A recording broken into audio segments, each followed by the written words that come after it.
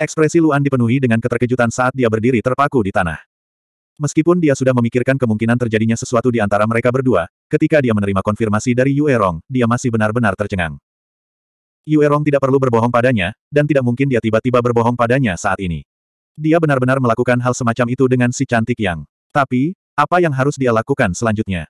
Apa yang harus dia katakan pada Yao Yao? Apa yang harus dia katakan pada si cantik yang? Untuk sesaat, hal-hal yang Luan tidak berani pikirkan muncul di benaknya. Dia bukanlah orang yang menghindari tanggung jawab, namun masalah saat ini agak sulit untuk dia atasi. Yue Rong yang sedang berbaring di tempat tidur melihat reaksi Luan dengan penuh minat.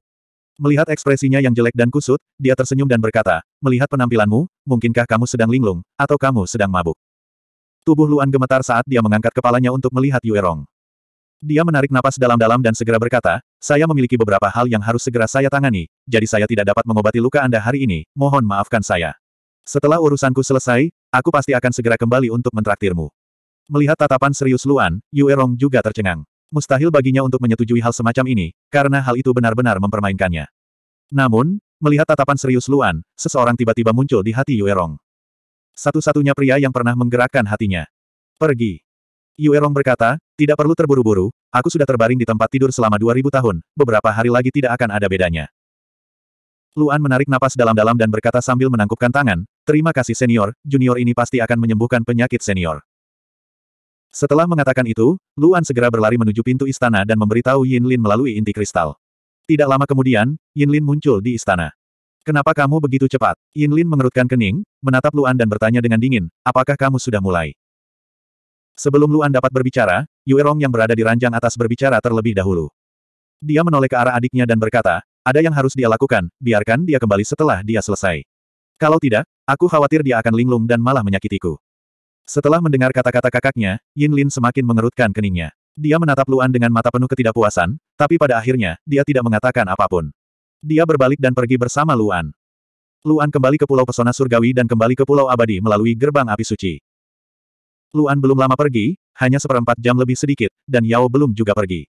Tiba-tiba melihat Luan kembali, Yao juga sedikit terkejut. Terutama setelah melihat ekspresi muram Luan, dia menjadi semakin khawatir. Dia berjalan mendekat dan dengan cemas bertanya, suamiku, apakah terjadi sesuatu? Mendengar suara lembut Yao, hati Luan bergetar. Mengangkat kepalanya, Luan menatap wajah cantik Yao, serta cahaya lembut berair di matanya. Menyalahkan diri sendiri dalam hatinya sangat besar. Diam-diam dia bersumpah untuk menjaga Yao dengan baik, dan tidak akan pernah mengecewakannya seumur hidupnya. Namun, ia tidak pernah menyangka kurang dari setahun setelah mereka menikah, hal seperti itu akan terjadi. Luan bergumul dalam hatinya. Dia tahu bahwa semuanya salahnya. Mengepalkan giginya, dia akhirnya mengatakan apa yang ingin dia katakan.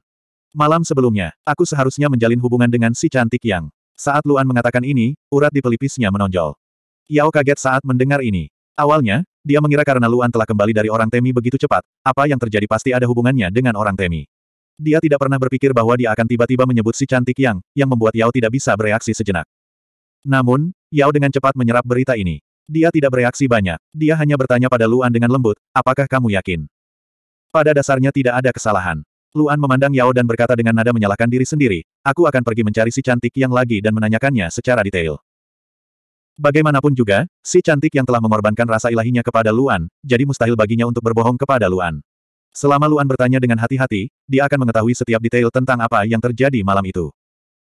Namun, saat Luan menyalahkan dirinya sendiri dan tidak tahu bagaimana menghadapi Yao, Yao tiba-tiba tersenyum. Senyuman Yao sangat indah, seolah dia tidak terpengaruh sama sekali dengan masalah ini. Melihat ekspresi Luan yang menyalahkan diri sendiri, dia dengan lembut berkata, aku berkata sebelumnya, aku tidak keberatan berbagi kamu dengan orang lain. Dulu sama, dan sekarang masih sama. Tubuh Luan bergetar, dan dia mengangkat kepalanya untuk melihat istrinya.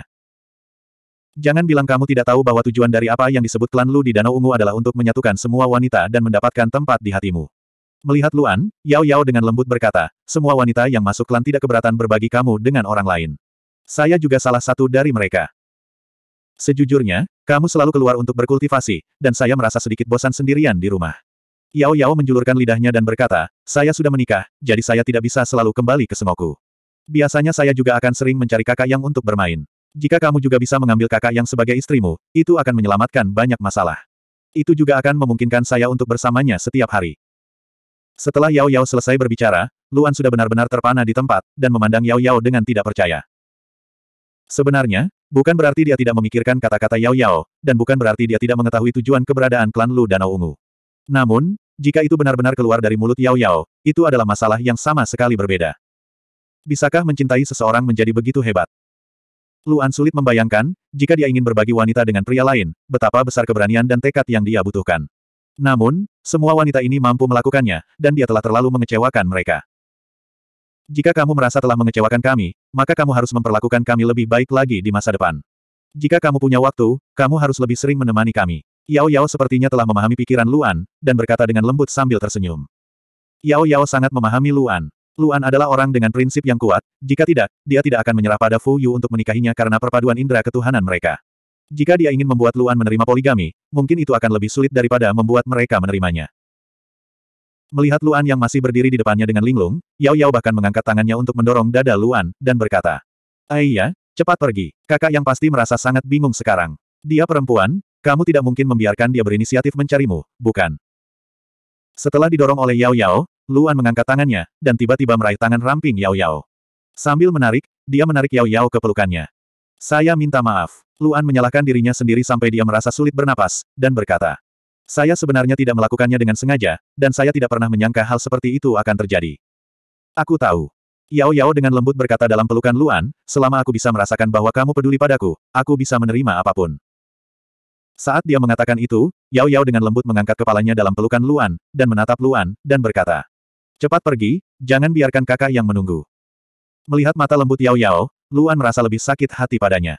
Tidak peduli apa pun, Yao Yao telah berbuat terlalu banyak untuknya, dan dia pasti tidak bisa mengecewakannya. Luan mengangguk, dan akhirnya membuka pintu api suci, dan menghilang dari pulau abadi. Melihat sosok Luan yang menghilang, Yao Yao berdiri di padang rumput di tepi tebing, dan tidak bergerak untuk waktu yang lama. Tiba-tiba, ada wanita lain yang ingin berbagi Luan dengannya, dan jika Yao Yao berkata dalam hatinya bahwa dia tidak peduli, itu tidak mungkin. Mungkin mulai hari ini dan seterusnya, Luan tidak lagi menjadi miliknya sendiri. Namun, jika dia memikirkannya dari sudut pandang lain, masalah ini tidak terlalu sulit untuk diterima. Dalam pandangan Yao Yao, hubungan Luan dan Fu Yu belum berakhir, dan akan ada hari di mana sepasang kekasih ini akan bersatu kembali. Selain itu, anggota klan Lu Danau Ungu juga akan menjadi istri Luan suatu hari nanti, dan dia bahkan menikmati hampir satu tahun kepemilikan eksklusif atas Luan. Hanya berdasarkan poin ini saja, tidak ada wanita lain yang bisa menikmatinya di masa depan. Jika dia tidak menyelamatkan Luan dan menjadi istrinya, jika istri Luan adalah Yang Meiren, mungkin dia juga akan iri dan berharap untuk menjadi istrinya, bukan? Berpikir seperti ini, dia merasa jauh lebih baik. Yao Yao menarik napas ringan, dan akhirnya bergerak, berjalan menuju rumah kayu itu. Namun, saat dia mengambil langkah, dia tiba-tiba berhenti. Dia melihat ke enam rumah kayu di padang rumput, dan setiap rumah kayu mewakili seorang wanita. Mungkin suatu hari nanti semua rumah kayu ini akan terisi, bukan? Dia awalnya ingin kembali ke Sengoku selama beberapa hari, tetapi pada akhirnya, dia tidak pergi, karena dia tahu Luan dan Yang Meiren akan segera kembali mencarinya. 1242. Delapan benua kuno, Paviliun Saintes Surgawi. Di dalam kawasan suci gunung bagian dalam, gerbang api suci terbuka. Luan keluar dari situ. Tidak lama kemudian, wakil kepala bergegas menemui Luan.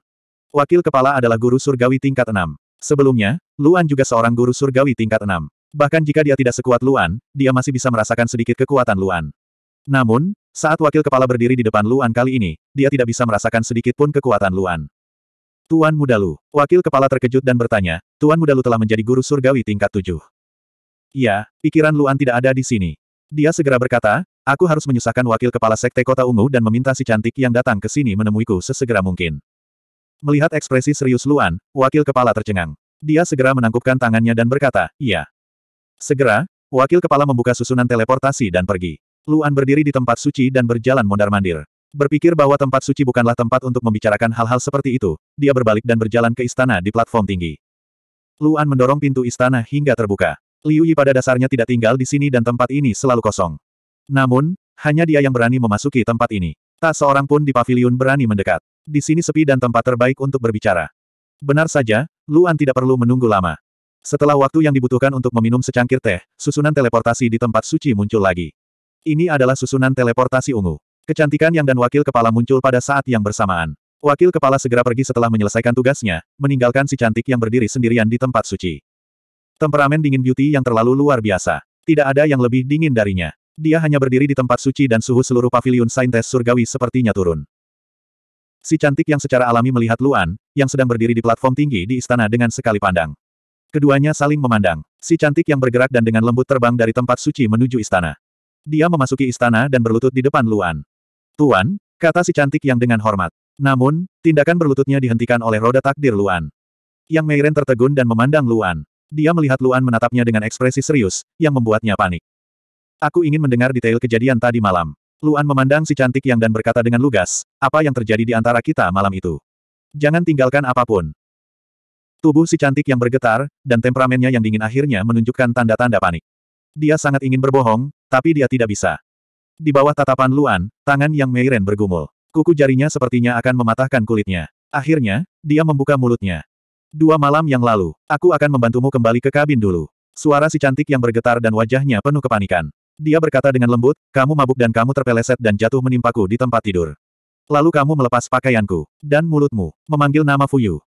Tubuh Luan bergetar, dan ekspresinya penuh keterkejutan dan keheranan. Dia tidak menyangka bahwa dia tidak hanya melakukan hal yang salah, tetapi dia juga salah mengira si cantik yang adalah Fuyu. Aku ingin mendorongmu menjauh, tapi kamu berkata, tidak. Aku tidak mendorongmu, lalu kami berhubungan seks. Setelah itu, aku membantumu mengenakan pakaianmu dan membantu Yao kembali ke kabin.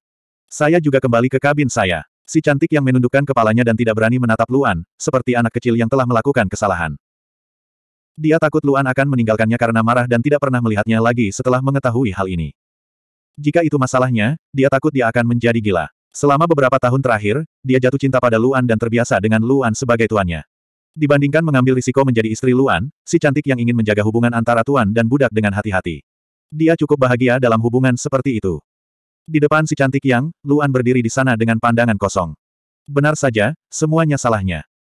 Tidak mungkin si cantik yang berbohong, dan itulah kebenarannya. Dialah yang memaksa kecantikan yang dan menghancurkan kesuciannya. Luan tidak berbicara lama, dan si cantik yang menjadi semakin cemas.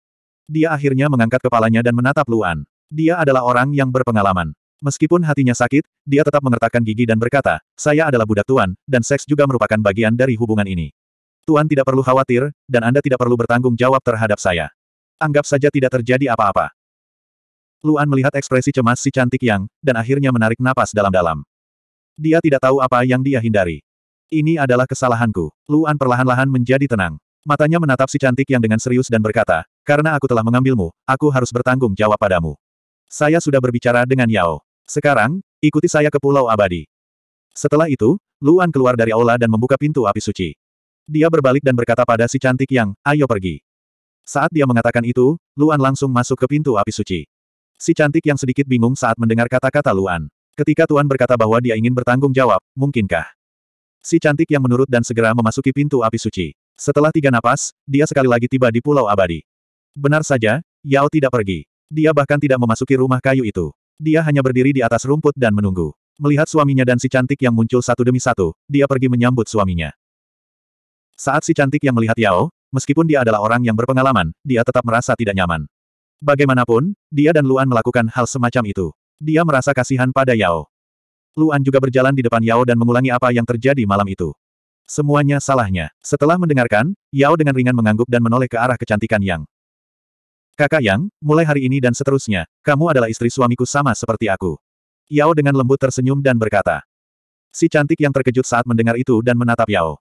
Yao tersenyum tipis dan berinisiatif berjalan di depan si cantik Yang. Dia memegang tangan si cantik Yang dan dengan lembut berkata, jangan ragu-ragu lagi. Pikiran kita sebenarnya sama. Aku tidak keberatan. Kuharap kakak yang juga tidak keberatan. Mendengar kata-kata Yao dan menatap matanya yang tulus, hati si cantik yang bergetar. Mustahil untuk mengatakan bahwa dia tidak ingin menjadi istri Luan. Dia bisa merasakan tangannya gemetar. Dia tidak pernah menyangka bahwa Yao akan benar-benar mau menerimanya. Namun, persetujuan Yao saja tidak cukup. Yang terpenting adalah ide Luan. Si cantik yang menoleh untuk melihat Luan, dan Luan juga menatapnya. Ini salahku. Aku pasti akan bertanggung jawab padamu. Luan memandang si cantik yang dan akhirnya membuka mulutnya. Dia dengan serius berkata, pilih hari. Ayo menikah. Tubuh si cantik yang tiba-tiba bergetar. Yao bisa merasakan tangan si cantik yang tiba-tiba menegang. Yao pernah mengalami perasaan ini sebelumnya. Perasaan akhirnya menjadi wanita Luan. Ini adalah pengalaman yang sangat membahagiakan. Itu seperti seseorang yang mengambang di lautan tak berujung, tidak tahu kapan mereka akan mencapai ujungnya. Namun dalam sekejap, mereka tiba-tiba berdiri di darat. Akhirnya, bahkan si cantik yang pun tidak bisa menahannya. Air mata mengalir dan mengalir di wajah cantiknya. Temperamen gunung esnya sepertinya runtuh dalam sekejap. Melihat pemandangan ini, dia dengan lembut memeluk kecantikan Yang. Faktanya, penampilan Luan membuat hati si cantik yang tergerak untuk pertama kalinya. Dari awal ketidakpedulian setelah pengorbanan kesadaran spiritual, hingga tertarik pada Luan sedikit demi sedikit, hingga akhirnya berinisiatif meminta untuk menjadi budaknya. Saat dia berinisiatif untuk berlutut di depannya, hatinya sudah menjadi miliknya. Dia tahu bahwa bahkan tanpa pengorbanan kesadaran spiritual, dia hanya bisa bersama Luan selama sisa hidupnya. Dia hanya akan mencintai Luan. Ketika kata-kata itu keluar, Luan akhirnya menghela nafas lega dan perlahan mengendurkan alisnya. Meskipun dia memiliki banyak kekhawatiran di hatinya, dan merasa kasihan pada Yao dan dia, karena dia telah memutuskan, dia akan menerima kenyataan ini. Mulai sekarang, si cantik yang adalah istrinya. Dan dia benar-benar memiliki dua istri, Yao dan si cantik yang. Dia tidak tahu berapa banyak perbuatan baik yang menggemparkan yang telah dia lakukan di kehidupan sebelumnya hingga disukai oleh dua wanita baik tersebut. Seringkali, bahkan Luan sendiri tidak berani mempercayainya. Dia merasa tidak pantas disukai banyak orang. Jadi, agar tidak mengecewakan semua orang, dia selalu bekerja keras untuk menjadi lebih kuat. Bagaimanapun, si cantik yang adalah orang yang berpengalaman. Setelah memeluk Yao sejenak, dia berpisah. Dia menyeka air matanya, menatap Yao dan berkata, Terima kasih. Kakak yang telah menjaga semua orang, begitu juga aku. Tidak perlu berterima kasih. Yao berkata dengan lembut, bagaimana kalau aku membantu kakak yang memilih kencan? Si cantik yang terkejut, dan bertanya, tanggal yang mana? Hari ini, Yao dengan bercanda menjulurkan lidahnya, dan berkata, Seperti aku, tidak ada waktu seperti sekarang. Bagaimana kalau kita menikah hari ini? Si cantik yang terkejut saat mendengar ini, dan menatap Yao dengan kaget. Dia tidak memutuskan kencan dengan terburu-buru, tapi karena tanggal yang disebutkan Yao tepat seperti yang dia inginkan di dalam hatinya. Dalam hal menikahi orang yang dicintainya, Yao adalah orang yang berpengalaman. Yao tahu perasaan ingin segera menikah dengan orang yang dicintainya. Dikatakan bahwa tidak ada waktu seperti sekarang. Lebih baik dikatakan bahwa dia takut akan penundaan yang lama, dan tidak bisa menunggu. Hubungi semuanya lagi. Mari kita rayakan bersama. Bagaimana kalau kita menikah hari ini? Yao menoleh, menatap Luan, dan berkata, Suamiku, bagaimana menurutmu? Luan memandang si cantik yang, dan menyadari ada sedikit harapan di matanya. Dia tidak menolak, dan mengangguk. Kalau begitu, ayo kita lakukan hari ini. Yao tersenyum, dan berkata, Baiklah, kalau begitu aku akan pergi dan memberitahu semua orang. 1243 Sore harinya, semua anggota klan Lu yang baru saja berangkat di pagi hari kembali ke Pulau Abadi. Ketika mereka mengetahui bahwa Luan akan menikahi si cantik yang, mereka sangat terkejut. Mau bagaimana lagi, ini terlalu mendadak. Saat berangkat pagi hari, keduanya terlihat sama seperti biasanya, namun kini mereka mengumumkan akan menikah, yang membuat semua wanita tak percaya untuk beberapa saat. Namun, berita ini dikatakan oleh Luan sendiri, meskipun mereka tidak mempercayainya, mereka harus mempercayainya. Si cantik yang tidak ingin menyembunyikan apa yang telah terjadi, jadi dia memberitahu mereka apa yang terjadi malam sebelumnya. Setelah semua wanita mengetahuinya, mereka tiba-tiba menyadari bahwa jika ini masalahnya, itu masuk akal, jika tidak, jika mereka menikah tanpa alasan yang jelas, itu akan membuat semua orang menggaruk-garuk kepala. Kemudian, semua wanita memandang Luan dengan mata jijik, dipimpin oleh Liu Yi, langsung mengutuk Luan, meskipun kakak yang mengorbankan kesadaran spiritualnya kepadamu, kamu tidak dapat melakukan hal seperti itu, kamu hanya seekor binatang buas. Petik dua petik dua. Luan tampak malu ketika mendengar ini, tetapi harus dikatakan bahwa waktu dan kesopanan Liu Yi terlalu tepat. Hanya dengan satu kalimat, suasana menjadi hidup, dan bahkan hubungan antara Luan dan si cantik yang pun pulih kembali. Kemudian, Liu Yi memandang kecantikan Yang, tersenyum, dan berkata dengan serius, kakak Yang, selamat. Wanita lain juga melihat ke arah kecantikan Yang dan mengucapkan selamat. Tidak peduli apa alasannya, si cantik yang menjadi istri Luan selangkah lebih maju dari mereka. Liu Yi memandang kecantikan Yang. Faktanya, Ketika dia membawakan saintes wine kemarin lusa, dia tidak menyangka hal seperti itu akan terjadi. Namun, agar hal ini terjadi, hatinya sedikit bahagia. Dengan cara ini, Luan resmi mempunyai dua istri, yang berarti dia menerima poligami. Mungkin ini normal bagi orang biasa, tetapi Liu Yi sangat mengenal Luan, dan akan sangat sulit baginya untuk menerimanya. Kandidat terbaik kedua untuk menjadi istri Luan tidak lain adalah Yang Beauty. Dia harus mengakui bahwa selain Fu Yu, wanita tercantik yang pernah dilihat Liu Yi adalah Yao Yao dan Yang Beauty. Bahkan mereka lebih rendah dari mereka. Jika Yao dan si cantik yang menjadi istri Luan pada saat yang sama, akan bermanfaat bagi mereka untuk menjadi istri Luan di masa depan. Namun, salah satu wanita yang sedang memberikan restunya sangat pendiam. Dia bahkan tampak seperti sedang berjuang. Itu tidak lain adalah putri kecantikan Yang, Yang Mu. Kemarin malam, dia baru saja memberitahu Luan bahwa dia ingin memperlakukan dirinya sendiri sebagai seorang wanita, dan sikap Luan terhadapnya memang berangsur-angsur berubah. Tetapi karena hal seperti ini terjadi begitu tiba-tiba, dia takut semua usahanya sebelumnya akan sia-sia. Ibu, yang mau berjalan di depan si cantik yang dan berkata dengan lembut, selamat. Ucapan selamatnya nyata, dan kesedihannya juga nyata. Bahkan dia sendiri tidak tahu mana yang lebih. Semua orang juga melihat ibu dan putrinya. Jika salah satu dari mereka tidak memiliki perasaan terhadap Luan, itu akan baik-baik saja. Hanya bisa dikatakan bahwa takdir membodohi orang, membiarkan ibu dan putrinya jatuh cinta pada pria yang sama di saat yang bersamaan. Suasananya canggung, dan bahkan Liu Yi tidak tahu bagaimana menyesuaikannya sejenak. Saat ini, Yao Yao, yang berdiri di samping Luan, membuka mulutnya. Mari kita mulai mendekorasi rumah baru dan anggur pernikahan terlebih dahulu. Masih banyak hal yang harus dipersiapkan. Mari kita mulai sekarang. Yao Yao berkata sambil tersenyum. Harus dikatakan bahwa Yao Yao menikah dengan Luan terlebih dahulu. Bahkan jika dia memanggil kakak cantik yang, kata-katanya masih memiliki bobot tertinggi saat ini. Semua orang mendengarkan dan segera mulai makan. Kecuali pengantin baru yang tidak bisa bergerak, semua orang mulai sibuk. Liu Yi dan Suang Er menyiapkan anggur dan hidangan. Liu Yi dan Yao kembali ke Kekaisaran Montenegro untuk membeli barang-barang untuk mendekorasi rumah baru. Yang Mu secara pribadi mendekorasi rumah baru untuk ibunya. Luan dan si cantik yang berdiri bersama, menyaksikan pemandangan ini dari tepi tebing. Faktanya, di lubuk hati Luan yang paling dalam, dia juga merasa hal semacam ini terlalu mendadak. Bahkan ketika dia menikah dengan Yao Yao, butuh tujuh hari untuk mempersiapkan mentalnya, tapi sekarang dia akan segera menikah, jadi dia tidak tahu bagaimana mengubah hubungannya dengan si cantik yang untuk sementara waktu. Luan menoleh untuk melihat kecantikan yang. Dia tahu dia pasti lebih gugup daripada dia. Sebagai seorang pria, dia tidak bisa membiarkan si cantik yang menanggung tekanan ini saat ini, jadi dia menarik napas ringan dan berkata, ayo pergi. Si cantik yang terkejut, mengangguk, dan berjalan ke depan di samping Luan. Sambil berjalan, Luan membicarakan hal-hal di antara keduanya. Keduanya memutuskan untuk bersama, dan Luan secara bertahap mulai mengingat semua hal yang telah terjadi di antara keduanya sebelumnya. Sejak pertama kali mereka bertemu, mereka mengorbankan kesadaran spiritual mereka, mengikuti kecantikan yang ke Gunung Langit Daceng, menghadapi delapan tanah suci besar untuk Luan, dan kemudian perang di kota Danau Ungu. Mereka berdua telah mengalami banyak hal, sedemikian rupa hingga tak terhitung jumlahnya. Luan tidak pernah menyangka mereka berdua akan memiliki begitu banyak kenangan. Dibandingkan dengan ingatan Luan, kenangan ini seperti harta keluarga bagi si cantik yang. Setiap kali dia mengingat sesuatu, si cantik yang akan segera menambahkannya. Jelas sekali, kenangan ini adalah yang paling penting dalam pikirannya. Mereka berdua berjalan lama sekali, dari padang rumput di tebing menuju hutan pegunungan, dan kembali dari hutan pegunungan, lama sekali telah berlalu. Saat mereka berdua kembali, hubungan mereka tidak sekaku dulu, tapi Luan masih memiliki simpul di hatinya. Yang Mu, dia, Luan berbicara dengan lembut, tapi tiba-tiba disela oleh si cantik yang. Saya akan berbicara dengan Muer sebentar lagi. Si cantik yang memandang Luan dan berkata dengan serius, saya harap guru tidak menolaknya karena saya. Saya telah melihat semua yang terjadi padanya selama bertahun-tahun. Dia kesakitan, dan saya menyalahkan diri sendiri atas hal ini. Jika guru mengasingkannya, dia akan pingsan, dan saya juga akan kesakitan. Luan terkejut. Dia berdiri di tempat dan menatap mata si cantik yang yang memelas. Pada akhirnya, dia tidak berkata apa-apa dan hanya mengangguk. Saat keduanya kembali ke rumah kayu, semua rumah kayu tersebut dihiasi dengan dekorasi yang meriah. Ini bukan apa-apa bagi sekelompok orang yang berkuasa. Luan berjalan ke sisi Yao dan mengobrol, sementara si cantik yang memanggil putrinya keluar. Mereka berdua berjalan menuju air terjun. Saya sudah memberitahunya. Si cantik yang memandang putrinya dan berkata dengan lembut, jangan khawatir, ibu tidak akan pernah menjadi penghalangmu. Mendengar itu, mata Yang Mu memerah. Dia akhirnya tidak tahan lagi dan berjongkok di tanah sambil menangis. Hatinya sangat sakit hingga dia sulit bernapas. Entah berapa banyak air mata yang dia keluarkan saat mendekorasi rumah baru untuk ibunya. Tak seorang pun di dunia ini yang bisa memahami keputusasaan di hatinya. Dialah yang paling kesakitan. Wanita lain setidaknya bisa secara terbuka mengungkapkan perasaan mereka kepada Luan, tapi dia bahkan tidak bisa melakukan ini. Dia hanya bisa berdiri di tempat terjauh dan mengungkapkan perasaan dan kerinduannya pada Luan di dalam hatinya.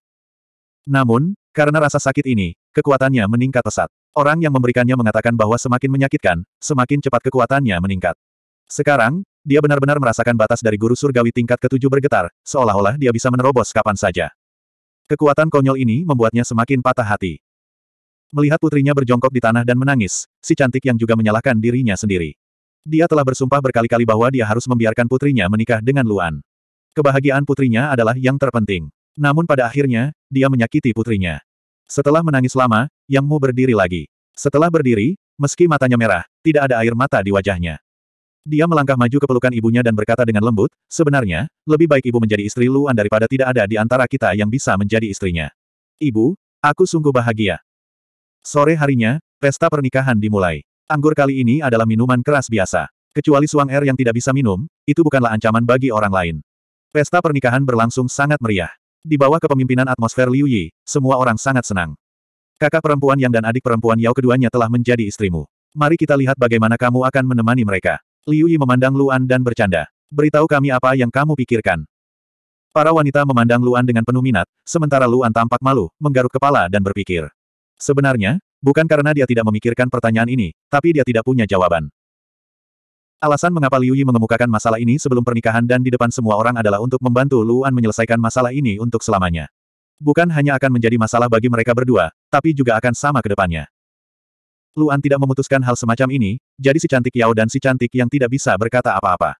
Liu Yi melihat tatapan ragu-ragu Luan dan berkata langsung. Kalau itu aku, bagaimana aku bisa membiarkan istriku tinggal sendirian di rumah? Mengapa kalian bertiga tidak hidup bersama di masa depan? Karena kalian semua sudah menjadi istri Luan, tidak ada yang perlu dipermalukan. Saat kata-kata ini keluar, wajah si cantik Yang dan si cantik Yao langsung memerah. Luan bahkan lebih tercengang saat itu juga, tidak tahu harus berkata apa. Kamu tidak berhak memutuskan hal semacam ini. Liu Yi langsung mengabaikan pendapat Luan dan berkata pada kedua wanita itu. Kakak Yang dan adik perempuan Yao, buatlah pernyataan. Jika kalian setuju, angguklah. Wanita lain memandang kecantikan Yang dan kecantikan Yao. Kecantikan Yao adalah wanita yang lembut, tapi sebenarnya dia sangat tertutup dan pemalu. Dia tidak tahu apa yang harus dia lakukan dalam situasi seperti ini. Untungnya, kecantikan yang sedikit lebih tua, dan temperamen serta pengalamannya sedikit lebih dewasa. Dia dengan ringan mengangguk. Dengan si cantik yang mengangguk terlebih dahulu, si cantik Yao mengangguk lagi, dan dia juga mengangguk ringan. Lagi pula, dibandingkan tidur di kamar terpisah dengan Luan, lebih tidak bisa diterima jika kedua wanita itu tidur dengan Luan. Wanita lain sedikit tersipu saat melihat ini. Liu Yi, bagaimanapun, sangat senang. Akhirnya larut malam, pesta pernikahan usai, dan tibalah waktunya memasuki kamar pengantin. Pada malam pernikahan, semua orang meninggalkan tempatnya masing-masing untuk pengantin baru. Bahkan Yao pun pergi untuk kembali ke Sengoku. Tidak peduli apa pun, malam ini seharusnya hanya menjadi milik mereka berdua. 1244. Larut malam, di kamar pengantin. Meskipun si cantik yang sudah bangun, Luan tidak memiliki ingatan apa pun tentang gairah dari malam sebelumnya. Kali ini, Luan sudah bangun. Entah itu Luan atau si cantik yang, mereka berdua sangat gugup. Ini bukan pertama kalinya mereka berdua melakukannya, jadi semuanya berjalan dengan tertib. Ketika Luan melepas semua pakaian si cantik yang, tubuh si cantik es terlihat sempurna di hadapannya. Luan juga tercengang.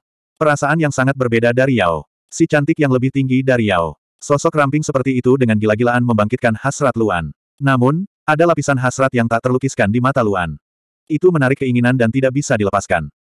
Hal semacam ini sepertinya merupakan kesakitan atau kesedihan. Meskipun Luan menyembunyikan ekspresinya dengan sangat baik, matanya tidak berbohong. Itu tidak bisa lepas dari pandangan kecantikan yang yang berada di dekatnya. Dia melihat semuanya dengan matanya dan merasakan tusukan sakit di hatinya. Pada titik ini, tidak ada alasan untuk berhenti atau berhenti. Luan menarik napas dalam-dalam. Akhirnya, keduanya melebur menjadi satu. Perasaan luar biasa membuat si cantik yang memeluk Luan dengan erat. Luan juga memeluk si cantik yang dan memulai proses ritual ini. Gerakan Luan sangat mekanis. Meskipun si cantik yang mabuk, dia juga bisa merasakan bahwa Luan tidak bahagia. Pada saat ini, si cantik yang dengan lembut menoleh dan berbisik ke telinga Luan di bahunya, aku tahu kamu tidak ingin menikah denganku. Saat kata-kata ini keluar, gerakan Luan tiba-tiba berhenti. Dia menopang tubuhnya dengan lengannya dan menatap si cantik yang. Keduanya saling memandang. Mata kabur si cantik yang berangsur-angsur menjadi sadar sementara mata Luan menjadi lebih sadar. Aku tahu di dalam hatimu, setiap kali kamu menikahi seseorang, rasa sakitnya akan bertambah sedikit. Si cantik yang memandang Luan dan berkata dengan lembut, aku tahu jika kamu menikah denganku, hatimu akan sakit. Ini tidak bisa diubah. Dengan itu, si cantik yang dengan lembut mengangkat tangannya dan membelai pipi Luan dan berkata, tapi, kamu bisa melampiaskan semua rasa sakit di hatimu padaku. Tubuh Luan bergetar saat dia memandang kecantikan yang dengan tidak percaya. Aku bersedia menanggung semuanya darimu. Si cantik yang memandang Luan, dia tidak perlu lagi menyembunyikan perasaan di hatinya. Matanya dipenuhi dengan cinta saat dia berkata, saya bersedia menanggung rasa sakit Anda, keluhan Anda, rasa sakit Anda. Di masa depan, jika Anda memiliki sesuatu yang ingin Anda katakan tetapi tidak bisa, Anda tidak bisa mengatakannya. Percayalah, saya tidak akan keberatan. Si cantik yang tersenyum tipis dan berkata, karena dengan cara ini, aku bisa melihat dirimu yang sebenarnya. Luan memandang kecantikan yang dan benar-benar tercengang. Dia tidak menyangka si cantik yang akan mengucapkan kata-kata seperti itu. Dia merasakan seluruh tubuhnya disentuh. Entah itu tubuh atau pikirannya, ada ledakan hasrat, seolah-olah akan meledak kapan saja. Pada saat ini, si cantik yang dengan lembut mengangkat lengan rampingnya dan melingkarkannya di leher Luan. Dia memandang Luan dan berkata dengan lembut, apakah kamu masih ingat bahwa aku adalah pelayanmu? Saya sangat menyukai perasaan ini. Mata si cantik yang berkedip. Ini adalah pertama kalinya dia jatuh cinta pada seseorang. Dia membuka hatinya dan berkata dengan lembut. Saya harap kita masih bisa memiliki hubungan seperti itu di masa depan. Ledakan. Keinginan tubuh Luan meledak sepenuhnya. Dia langsung membungkuk dan mencium bibir merah si cantik yang. Semua penghalang di antara keduanya runtuh dan mereka benar-benar menyatu menjadi satu. Akhirnya, Luan sepenuhnya menerima si cantik yang sebagai istrinya, sama seperti bagaimana dia menerima Yao. Tanda pisah tanda pisah tanda pisah. Tanda pisah tanda pisah. Malam itu, keduanya benar-benar terlalu lama bertengkar. Mereka terombang-ambing hingga langit benar-benar cerah. Yao kembali ke Sengoku di pagi hari dan keduanya baru saja selesai. Mereka tidak tidur sepanjang malam. Namun, kekuatan si cantik yang lebih tinggi dari Yao. Dia tidak seperti Yao yang tidak bisa bangun keesokan harinya. Namun, malam yang penuh gairah membuat kecantikan yang pingsan. Melihat penampilan keduanya, wajah Yao memerah. Yao juga tahu betapa melelahkannya Luan dalam aspek ini. Seolah-olah dia juga memiliki bakat sekuat kultivasi. Dia tersipu dan berkata kepada keduanya, kalian berdua tidak tahu bagaimana mengendalikan diri. Selain itu, bukankah sebaiknya kalian pergi ke Sekte Kota Ungu hari ini? Memang benar, setelah menikah dengan Master Sekte Kota Ungu, dia harus pergi ke Sekte Kota Ungu untuk mengunjungi ayah mertuanya. Kemarin saat keduanya sedang berjalan-jalan di hutan, Luan juga menanyakan pertanyaan ini. Namun, si cantik yang tidak melepaskan Luan. Tidak, aku akan memberitahu keluargaku. Si cantik yang dengan lembut menggelengkan kepalanya dan berkata, di mata 15 sekte dan 16 klan, sekte kota ungu selalu diawasi. Bahkan klan Hachiko kemungkinan besar akan diawasi. Guru tidak bisa pergi ke sekte kota ungu. Jika tidak, sesuatu mungkin akan terjadi. Menguasai. Luan dan Yao memandang si cantik yang. Mata mereka menunjukkan sedikit keraguan. Kenapa dia masih memanggilnya Tuan? Si cantik yang secara alami tahu mengapa keduanya memandangnya seperti ini. Dia dengan lembut tersenyum dan berkata, saya sudah terbiasa dengan hubungan ini. Saya tidak ingin mengubahnya. Di depan orang luar, aku memanggilmu suami. Di depan keluarga kita, aku tetap memanggilmu Tuan. Benar sekali, gelar Master hanya miliknya. Luan tidak bisa pergi ke Sekte Kota Ungu. Si cantik yang juga tidak ingin orang-orang dari Sekte Kota Ungu datang ke sini. Bagaimanapun, dia tahu bahwa semua wanita di sini menganggap tempat ini sebagai tempat tinggal keluarga mereka. Mereka tidak ingin orang lain menyentuhnya. Oleh karena itu, hal ini hanya dapat dikesampingkan untuk sementara dan menunggu kesempatan. Meskipun dia tidak bisa pergi ke Sekte Kota Ungu, Luan tetap berkata pada si cantik yang saat kamu melihat ayah mertua, sapalah aku. N, kata si cantik yang sambil tersenyum. Setelah beberapa saat, wanita lainnya juga datang ke Pulau Abadi. Melihat penampilan harmonis ketiganya, mereka pun merasa lega. Hal yang paling mereka khawatirkan adalah kerenggangan dan perselisihan antara si cantik Yang dan Yao. Jika itu terjadi, dampaknya akan sangat serius. Namun salah satu wanita yang datang hilang. Itu adalah Yang Mu. Hati si cantik yang menegang dan langsung bertanya, di mana Muer? Liu Yi memikirkan sesuatu dan berkata, Saudarimu memberitahuku tadi malam bahwa dia akan menerobos. Aku khawatir dia harus mengasingkan diri selama setengah bulan. Mendengar berita ini, hati si cantik yang menegang. Ia mengetahui ciri-ciri warisan yang diterima putrinya. Dia tidak bisa menahan perasaan sedih dan menyalahkan dirinya sendiri. Hal ini memang memusingkan. Wanita lain juga tidak tahu harus berbuat apa. Mereka hanya bisa menggunakan waktu untuk menghibur mereka secara perlahan. Apa yang kita lakukan selanjutnya? Liu Yi memandang ketiganya dan bertanya, apakah kamu akan tinggal di Pulau Abadi? Aku tidak bisa melakukannya sekarang. Masalah orang Temi belum selesai. Aku khawatir ini akan memakan waktu lama. Luan sedikit mengernyit dan berkata. Hal yang sama berlaku untuk Sekte Kota Ungu. Kata kecantikan Yang. Saya adalah ketua Sekte. Saya tidak bisa meninggalkan Sekte Kota Ungu sendirian. Saat ini, semua Sekte mengincar Sekte Kota Ungu dengan iri. Jika saya menyerahkan posisi saya sekarang, saya khawatir Sekte Kota Ungu akan berada dalam kekacauan. Memang benar, Sekte Kota Ungu baru berada di Jianghu selama lebih dari setahun. Berbagai kekuatan itu kusut dan rumit. Mereka tidak bisa bersantai bahkan untuk sesaat pun. Si cantik yang harus menghadapi banyak hal. Dia takut hal yang sama akan terjadi di masa depan. Dia menghabiskan lebih banyak waktu di Sekte Kota Ungu dan lebih sedikit waktu dengan Luan. Sebagian besar waktunya dihabiskan bersama Luan. Kalau begitu, ayo istirahat dua hari lagi. Liu Yi menyarankan, kami baru saja menikah. Kami tidak bisa langsung kembali bekerja. Jika tidak, Luan akan pergi selama beberapa bulan. Akan sulit untuk melihatnya. Luan tersenyum canggung. Tidak ada jalan lain. Hal terpenting baginya sekarang adalah berkultivasi. Hanya dengan berkultivasi dengan cepat dan menjadi ahli top barulah dia memiliki kekuatan untuk melindungi orang-orang yang dia sayangi. Dia akan memiliki kekuatan untuk membawa semua orang menjauh dari Pulau Abadi dan kembali ke delapan benua kuno. Keesokan harinya, semua orang bermain-main di Pulau Abadi. Di malam hari, semua orang pergi, meninggalkan mereka bertiga sendirian. Seorang pria dan dua wanita berbagi tempat tidur. Ini adalah pertama kalinya dalam hidup mereka. Meskipun kedua wanita itu mengangguk setuju pada siang hari, ketika mereka benar-benar harus jujur satu sama lain, itu terasa sangat canggung. Saat ini, Luan tahu bahwa dia perlu mengambil tanggung jawab. Hanya dia yang bisa mengambil inisiatif. Meski dia juga sangat malu. Namun, untuk dapat memiliki dua wanita sebagai istrinya, Luan benar-benar merasa telah mengumpulkan keberuntungan selama beberapa seumur hidup. Dia mengubur pikirannya yang lain. Hal pertama yang perlu dia lakukan adalah tidak membuat orang di depannya sedih.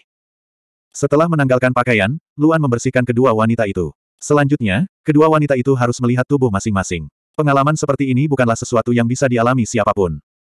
Salah satunya adalah peri yang turun ke dunia fana, yang lainnya adalah kecantikan es.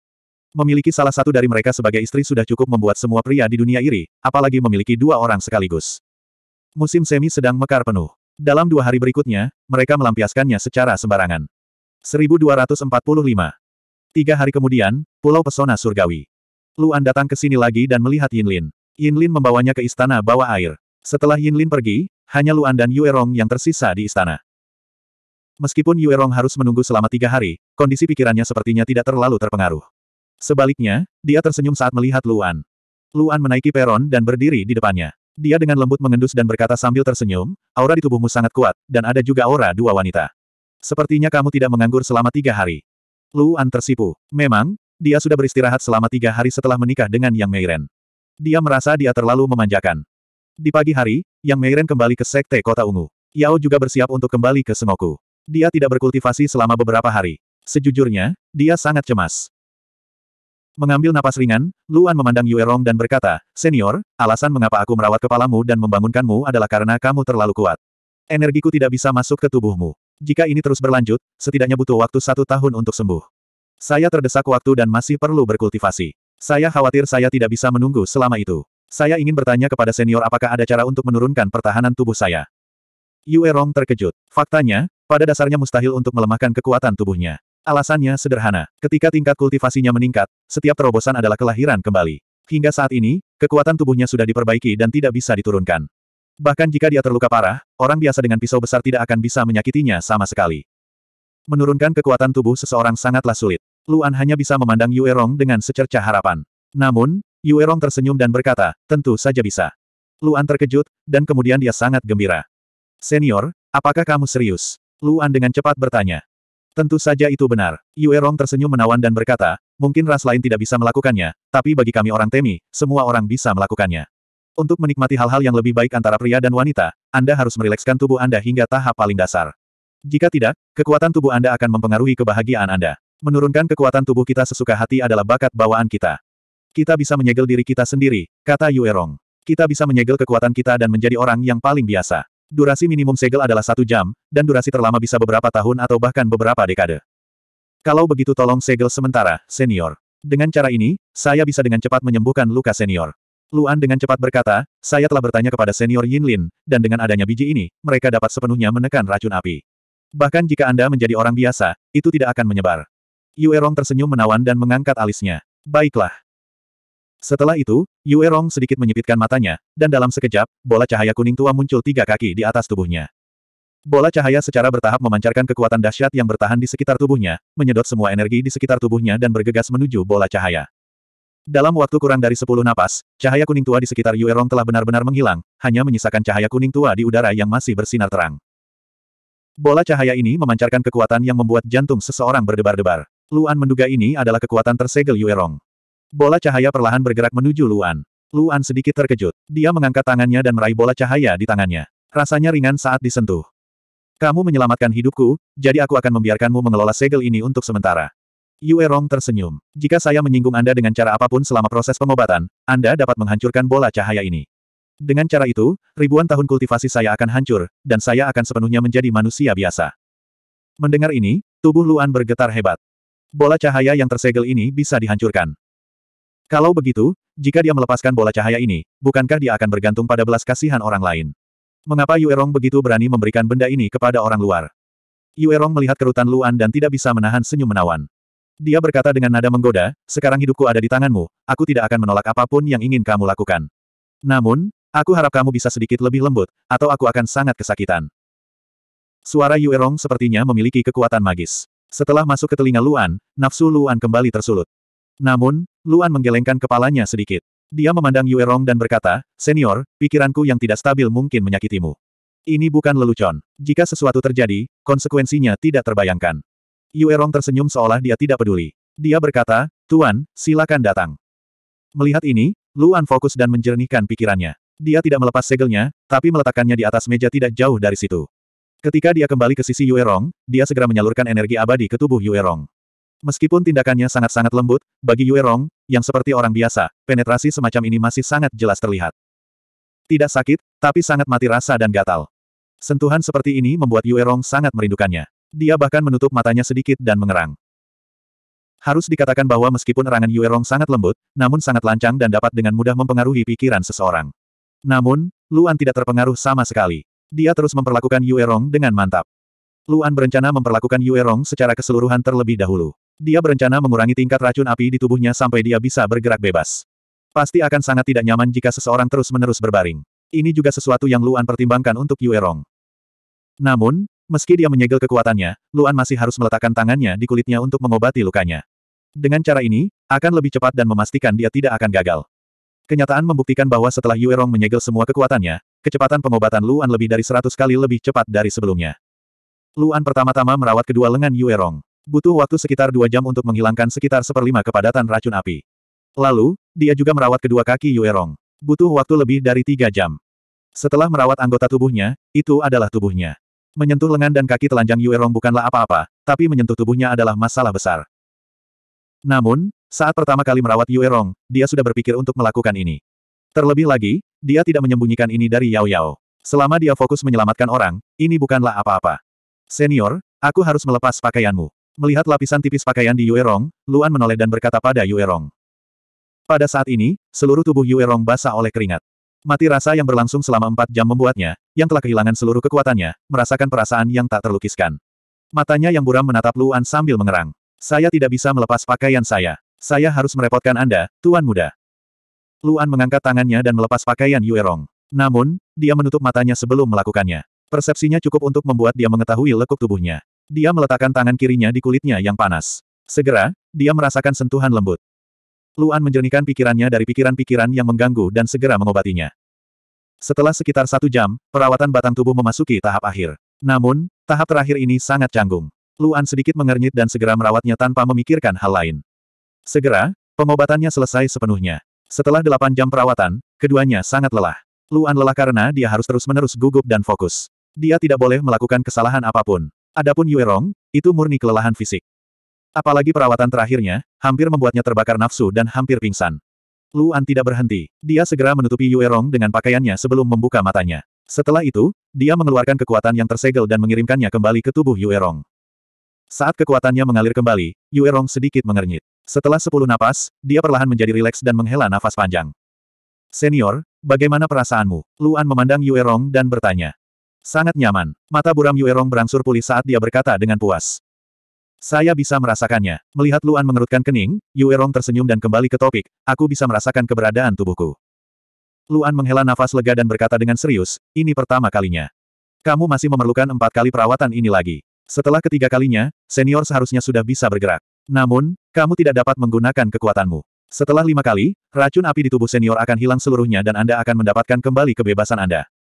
Mendengar kata-kata Luan, Yue Rong tersenyum lebih bahagia. Dia telah koma selama ribuan tahun. Adalah suatu kebohongan untuk mengatakan bahwa dia tidak ingin pulih dengan cepat. Dia juga tidak menyangka kalau memang ada seseorang di dunia ini yang bisa menghilangkan racun api. Hal ini membuatnya semakin tertarik pada pria kecil ini. Bagaimana kamu ingin aku mengucapkan terima kasih? Yue Rong bertanya sambil tersenyum. Senior Yinlin telah memberiku staf abadi. Senior tidak perlu berterima kasih padaku. Kata Luan. Kakak adalah saudara perempuan, aku adalah aku. Dia memberimu manfaat, tapi aku belum memberimu manfaat apa pun. Yue Rong tersenyum menawan dan berkata, bagaimana kalau aku membiarkanmu menjadi tamu tetua orang Temi? 1246. Penatua tamu. Luan tercengang saat mendengar ini. Dia bertanya, apa yang dimaksud dengan penatua tamu? Sederhana sekali. Sama seperti kalian manusia yang memiliki gelar resmi, kami orang Temi juga dibagi berdasarkan pangkatnya, jelas Yue Rong sambil tersenyum. Pangkat adalah status. Mereka yang berpangkat lebih tinggi dapat meminta apa pun dari mereka yang berpangkat lebih rendah, dan mereka yang berpangkat lebih rendah tidak dapat menolak. Adapun sesepuh tamu, mereka mewakili orang-orang yang bukan orang Temi tetapi sudah diakui oleh orang Temi. Status mereka adalah pangkat tertinggi selain Tuhan, kata Yue Rong menggoda. Dengan kata lain, selain Tuhan, kamu bisa. Tidak tertarik. Tanpa menunggu Yue Rong selesai, Luan langsung menolaknya dan berkata dengan cemberut, aku hanya menginginkan staf abadi. Jika ada yang lain, itu adalah hati yang abadi. Jika senior ingin memberi saya manfaat, mengapa Anda tidak membantu saya menemukan hati yang abadi? Mendengar nada dingin dan ekspresi serius Luan, Yue Rong yang berinisiatif menggodanya berkali-kali, akhirnya kehilangan kesabarannya. Keinginan yang digoda dengan cepat padam, dan dia berkata, karena kamu tidak bersedia, aku tidak bisa berbuat apa-apa. Namun, posisi sebagai tetua tamu adalah sesuatu yang diimpikan banyak orang. Jika kamu ingin kembali di masa depan, kamu bisa datang kepadaku. Aku tidak akan menarik kembali kata-kataku. Luan berkata dengan lugas, setelah perawatan ini, tubuh senior perlu istirahat sebentar. Saya akan kembali untuk merawat senior dalam waktu setengah bulan. Setelah mengatakan ini, Luan menangkupkan tangannya ke Yue Rong dan berkata, selamat tinggal. Luan berbalik dan berjalan menuruni tangga, menyalakan inti kristal. Segera, Yin Lin datang dan menyuruh Luan pergi. Dia kemudian menemui adik perempuannya dan bertanya dengan prihatin, bagaimana perasaanmu? Saya merasa sedikit. Yue Rong tersenyum pada adiknya dan berkata, dia memang cukup mampu. Apakah kamu tahu bagaimana dia memperlakukanmu? Yin Lin bertanya dengan rasa ingin tahu. Dia belum pernah ke istana dan penasaran dengan masalah ini. Sekarang adik perempuannya sudah sadar, dia seharusnya bisa merasakannya dengan jelas. Yue Rong sedikit mengangguk. Meskipun Luan sangat berhati-hati dan bahkan memblokir kehancuran dari sudut tertentu, persepsinya masih ada. Bahkan jika kekuatannya tersegel, persepsinya tidak hilang. Itu adalah nyala api yang sangat kuat. Yue Rong berkata, dia menggunakan energi spasialnya untuk memindahkan racun api di tubuhku keluar, dan kemudian menggunakan api untuk membakar racun api tersebut. Api, energi spasial. Mendengar ini, Yin Lin menarik napas dalam-dalam, dan wajahnya menjadi sangat serius. Dia berkata, anak ini sungguh mengejutkan. Bagaimana menurutmu, kakak? Yue Rong bertanya dengan rasa ingin tahu. Belum. Yin Lin menggelengkan kepalanya perlahan dan berkata dengan suara yang dalam, tetapi anak ini sangat berbeda. Dia memiliki garis keturunan Deep Ice dan api yang dapat membakar racun api klancu. Dia mungkin menyebabkan gelombang besar di masa depan. Jika kita bisa memanfaatkannya dengan baik, mungkin ini akan menjadi kesempatan untuk kembali ke delapan benua kuno. Yue Rong tercengang saat mendengar ini, dan dia bertanya, kakak, kamu masih ingin kembali? Mengapa tidak? Tanya Yin Lin. Pulau Pesona Surgawi hanyalah sebuah pulau kecil. Bagaimana bisa dibandingkan dengan delapan benua kuno? Mengapa kita harus hidup di laut dan bukan di delapan benua purba? Hati Yue Rong sedikit bergetar saat melihat ekspresi kakaknya. Dia tahu bahwa diusir dari delapan benua kuno selalu menjadi duri di hati saudara perempuannya. Dia selalu memikirkan hal itu. Sepertinya adiknya sudah muak. Dia tidak ingin tinggal di sini lagi. Namun, pria itu terlalu lemah. Bisakah dia membantu mereka melawan klan Hachiko? Tanda pisah tanda pisah tanda pisah. Tanda pisah tanda pisah. Luan kembali ke Pulau Abadi, tapi Yao tidak pergi. Dia tinggal di langit di atas air terjun untuk bercocok tanam. Keduanya telah tinggal di Pulau Abadi selama dua bulan. Burung-burung di sini memiliki hubungan yang baik dengan Yao, melayang di sekelilingnya dari kejauhan. Saat Luan muncul, Yao merasakannya dari langit. Dia membuka matanya dan melihat ke bawah, tersenyum lembut pada Luan. Dia turun dari langit seperti peri yang turun ke dunia fana. Dia perlahan berjalan ke arah Luan. Pakaian putihnya menonjolkan auranya yang murni dan tanpa celah. Dia selalu begitu murni, dan dia tidak berubah sedikit pun. Suamiku, suara lembut Yao seakan mampu menyembuhkan segala macam rasa sakit. Apakah semuanya berjalan dengan baik? Iya, Luan tersenyum, seperti hari ini, ini akan berakhir setelah empat kali lagi. Mendengar perkataan Luan, Yao pun tersenyum bahagia. Sebenarnya dia tidak ingin Luan pergi ke orang Temi. Meskipun dia tahu bahwa Luan tidak akan ada hubungannya dengan orang-orang itu, dia tetap menentangnya. Dua bulan telah berlalu. Mari kita kembali ke Pulau Lonemun dan melihat-lihat, pikir Luan dan berkata, aku ingin tahu apakah perang antara delapan persatuan besar telah berakhir. Oke, kata Yao. Setelah beristirahat di Pulau Abadi sebentar, Luan membuka gerbang api suci dan pergi bersama Yao. Tanda pisah tanda pisah. Tanda pisah tanda pisah. Pulau Lonemun, Balai Teleportasi. Ketika Luan keluar dari aula teleportasi dan berjalan di Pulau Lonemun lagi, dia menemukan bahwa lingkungan di sini tidak berubah sama sekali.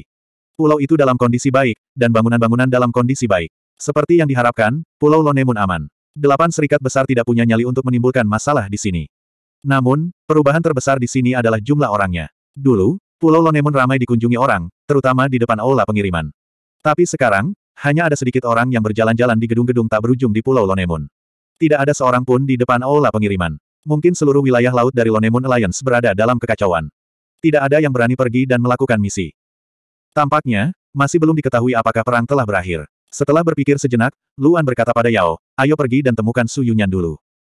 Yao mengangguk dan mengikuti Luan ke rumah lelang. Staf di rumah lelang masih ada di sana, dan mereka semua mengenal Luan, jadi mereka tidak menghentikan Luan pergi ke lantai tiga. Namun, Luan mengetuk pintu kantor Su Yunyan beberapa kali, tapi tidak ada jawaban. Su Yunyan tidak ada di sana. Ke mana dia pergi? Saat itu, pintu di sebelah kantor Su Yunyan terbuka, dan seorang wanita cantik dan dewasa keluar. Luan mengenal orang ini. Dia adalah salah satu tangan kanan Su Yunyan, dan juga wakil manajer rumah lelang. Tuan Mudalin, manajer Su pergi sebulan yang lalu, wanita itu memandang Luan dan berkata dengan hormat. Kiri, Luan terkejut dan bertanya, ke mana dia pergi? Saya tidak tahu, kata wanita itu. Tetapi manajer meminta saya untuk memberitahu Anda bahwa jika Anda bersedia membantunya, dia meninggalkan surat di laci meja. Anda dapat melihatnya. Surat. Luan terkejut lagi. Setelah berpikir sejenak, dia mendorong pintu kantor Su Yunyan dan berjalan ke meja bersama Yao. Dia membuka lacinya, dan memang ada surat di dalamnya. Untuk Luan. Melihat empat kata di surat itu, Luan terkejut. Bahkan wakil manajer tidak mengetahui namanya, yang cukup untuk membuktikan bahwa Su Yunyan meninggalkan surat ini untuknya. Membuka amplopnya, Luan membuka surat itu dan dengan cepat membacanya. Lalu, dia mengerutkan kening. Apa yang tertulis di dalamnya tidak lain adalah pengalaman Su Yunyan dan saudara perempuannya. Dari saat mereka berdua melarikan diri dari keluarga mereka, hingga saat mereka diculik oleh aliansi Tiga Yin di laut, hingga saat saudara perempuannya dipaksa mengorbankan rasa ilahinya, dan kemudian dia diancam. Semuanya ditulis dengan jelas. Setelah membaca pengalaman ini, Luan mengerutkan kening. Bagaimanapun juga, dia telah melihat terlalu banyak penderitaan di dunia ini, jadi dia bisa tetap tenang. Namun, Yao sudah mengerutkan kening. Dibandingkan dengan orang lain di dunia, Yao selalu hidup di bawah perlindungan Sengoku. Dia belum pernah mengalami bencana apa pun, apalagi yang seperti ini. Jadi, Ketika dia mengetahui bahwa ada hal yang membuat marah manusia dan dewa, api kemarahan di hatinya tersulut. Di akhir surat, Su Yunyan menulis, awalnya saya mengira aliansi kebenaran dan aliansi tiga yin adalah musuh bebuyutan, jadi saya menjual pil perusak jiwa dalam jumlah besar ke aliansi kebenaran. Namun, saya tidak menyangka aliansi kebenaran akan mengkhianati saya dan bersekutu dengan aliansi tiga yin. Mereka bahkan memberitahuku tentang distribusi pil perusak jiwa. Aliansi tiga yin sangat marah dan mengancam saya dengan Yunlian untuk memaksa saya menyerah. Jika Tuan Muda Lu dapat menyelamatkan saya dan adik perempuan saya, saya akan mengingat kebaikan Anda dan mengikuti Anda dalam hidup dan mati. Setelah Luan selesai membaca semua surat itu, dia menarik napas dalam-dalam dan mengangkat tangannya, membakar surat dan surat itu. Kisah Su Yunyan memang sangat menyayat hati dan menyedihkan, namun Luan tidak berdarah panas dan langsung ingin melakukan sesuatu. Faktanya, mustahil baginya untuk menyelamatkannya dengan kekuatannya. Para pemimpin aliansi besar semuanya adalah guru surgawi tingkat delapan, dan bahkan mungkin ada guru surgawi tingkat delapan lainnya dalam aliansi tersebut. Bahkan ada lebih banyak lagi guru surgawi tingkat tujuh. Bagaimana mungkin dia memiliki kekuatan untuk pergi ke aliansi tiga yin dan menyelamatkannya? Adapun kekuatan yang bisa dia gunakan, Sengoku saat ini sedang terjebak dan sekte garnisun ungu sedang diawasi. Hanya si cantik yang yang bisa bergerak. Namun, dia tidak rela membiarkan istrinya mengambil risiko sebesar itu. Suamiku, apa yang harus kita lakukan? Yao memandang Luan dan bertanya dengan lembut. Luan mengerutkan kening dan menoleh ke arah Yao, bertanya, kamu ingin menyelamatkannya. MN. Yao mengangguk ringan, tapi kemudian berkata, premisnya adalah kamu tidak bisa mengambil risiko. Luan mengangguk sedikit, menarik napas dalam-dalam, dan berkata dengan suara yang dalam, sebenarnya, bukan berarti tidak ada cara untuk menyelamatkannya. Namun, kita perlu memikirkannya panjang lebar. 1247. Luan dan Yao tidak kembali ke Pulau Half Moon. Setelah mengetahui bahwa perang antara delapan aliansi besar belum berakhir, mereka tidak mau mengambil risiko, jadi mereka kembali ke Pulau Ajaib. Sejujurnya, saat Su Yunyan dalam masalah, Luan ingin membantu. Lagi pula, mereka berdua sudah lama berhubungan, jadi kurang lebih mereka adalah teman. Di aliansi Lonemun, Su Yunyan juga merawatnya dengan baik. Tidak peduli apa motifnya, dia tidak bisa membiarkan Su Yunyan begitu saja di tangan orang lain tanpa mencoba apa pun. Namun, seperti yang dikatakan Luan, dia hanya akan membiarkan dirinya terlibat dalam masalah ini dan tidak akan membiarkan kedua istrinya terlibat. Dan satu-satunya hal yang bisa dia lakukan untuk ikut campur dalam masalah ini adalah dengan menggunakan pil. Selain memurnikan pil, dia tidak punya cara lain.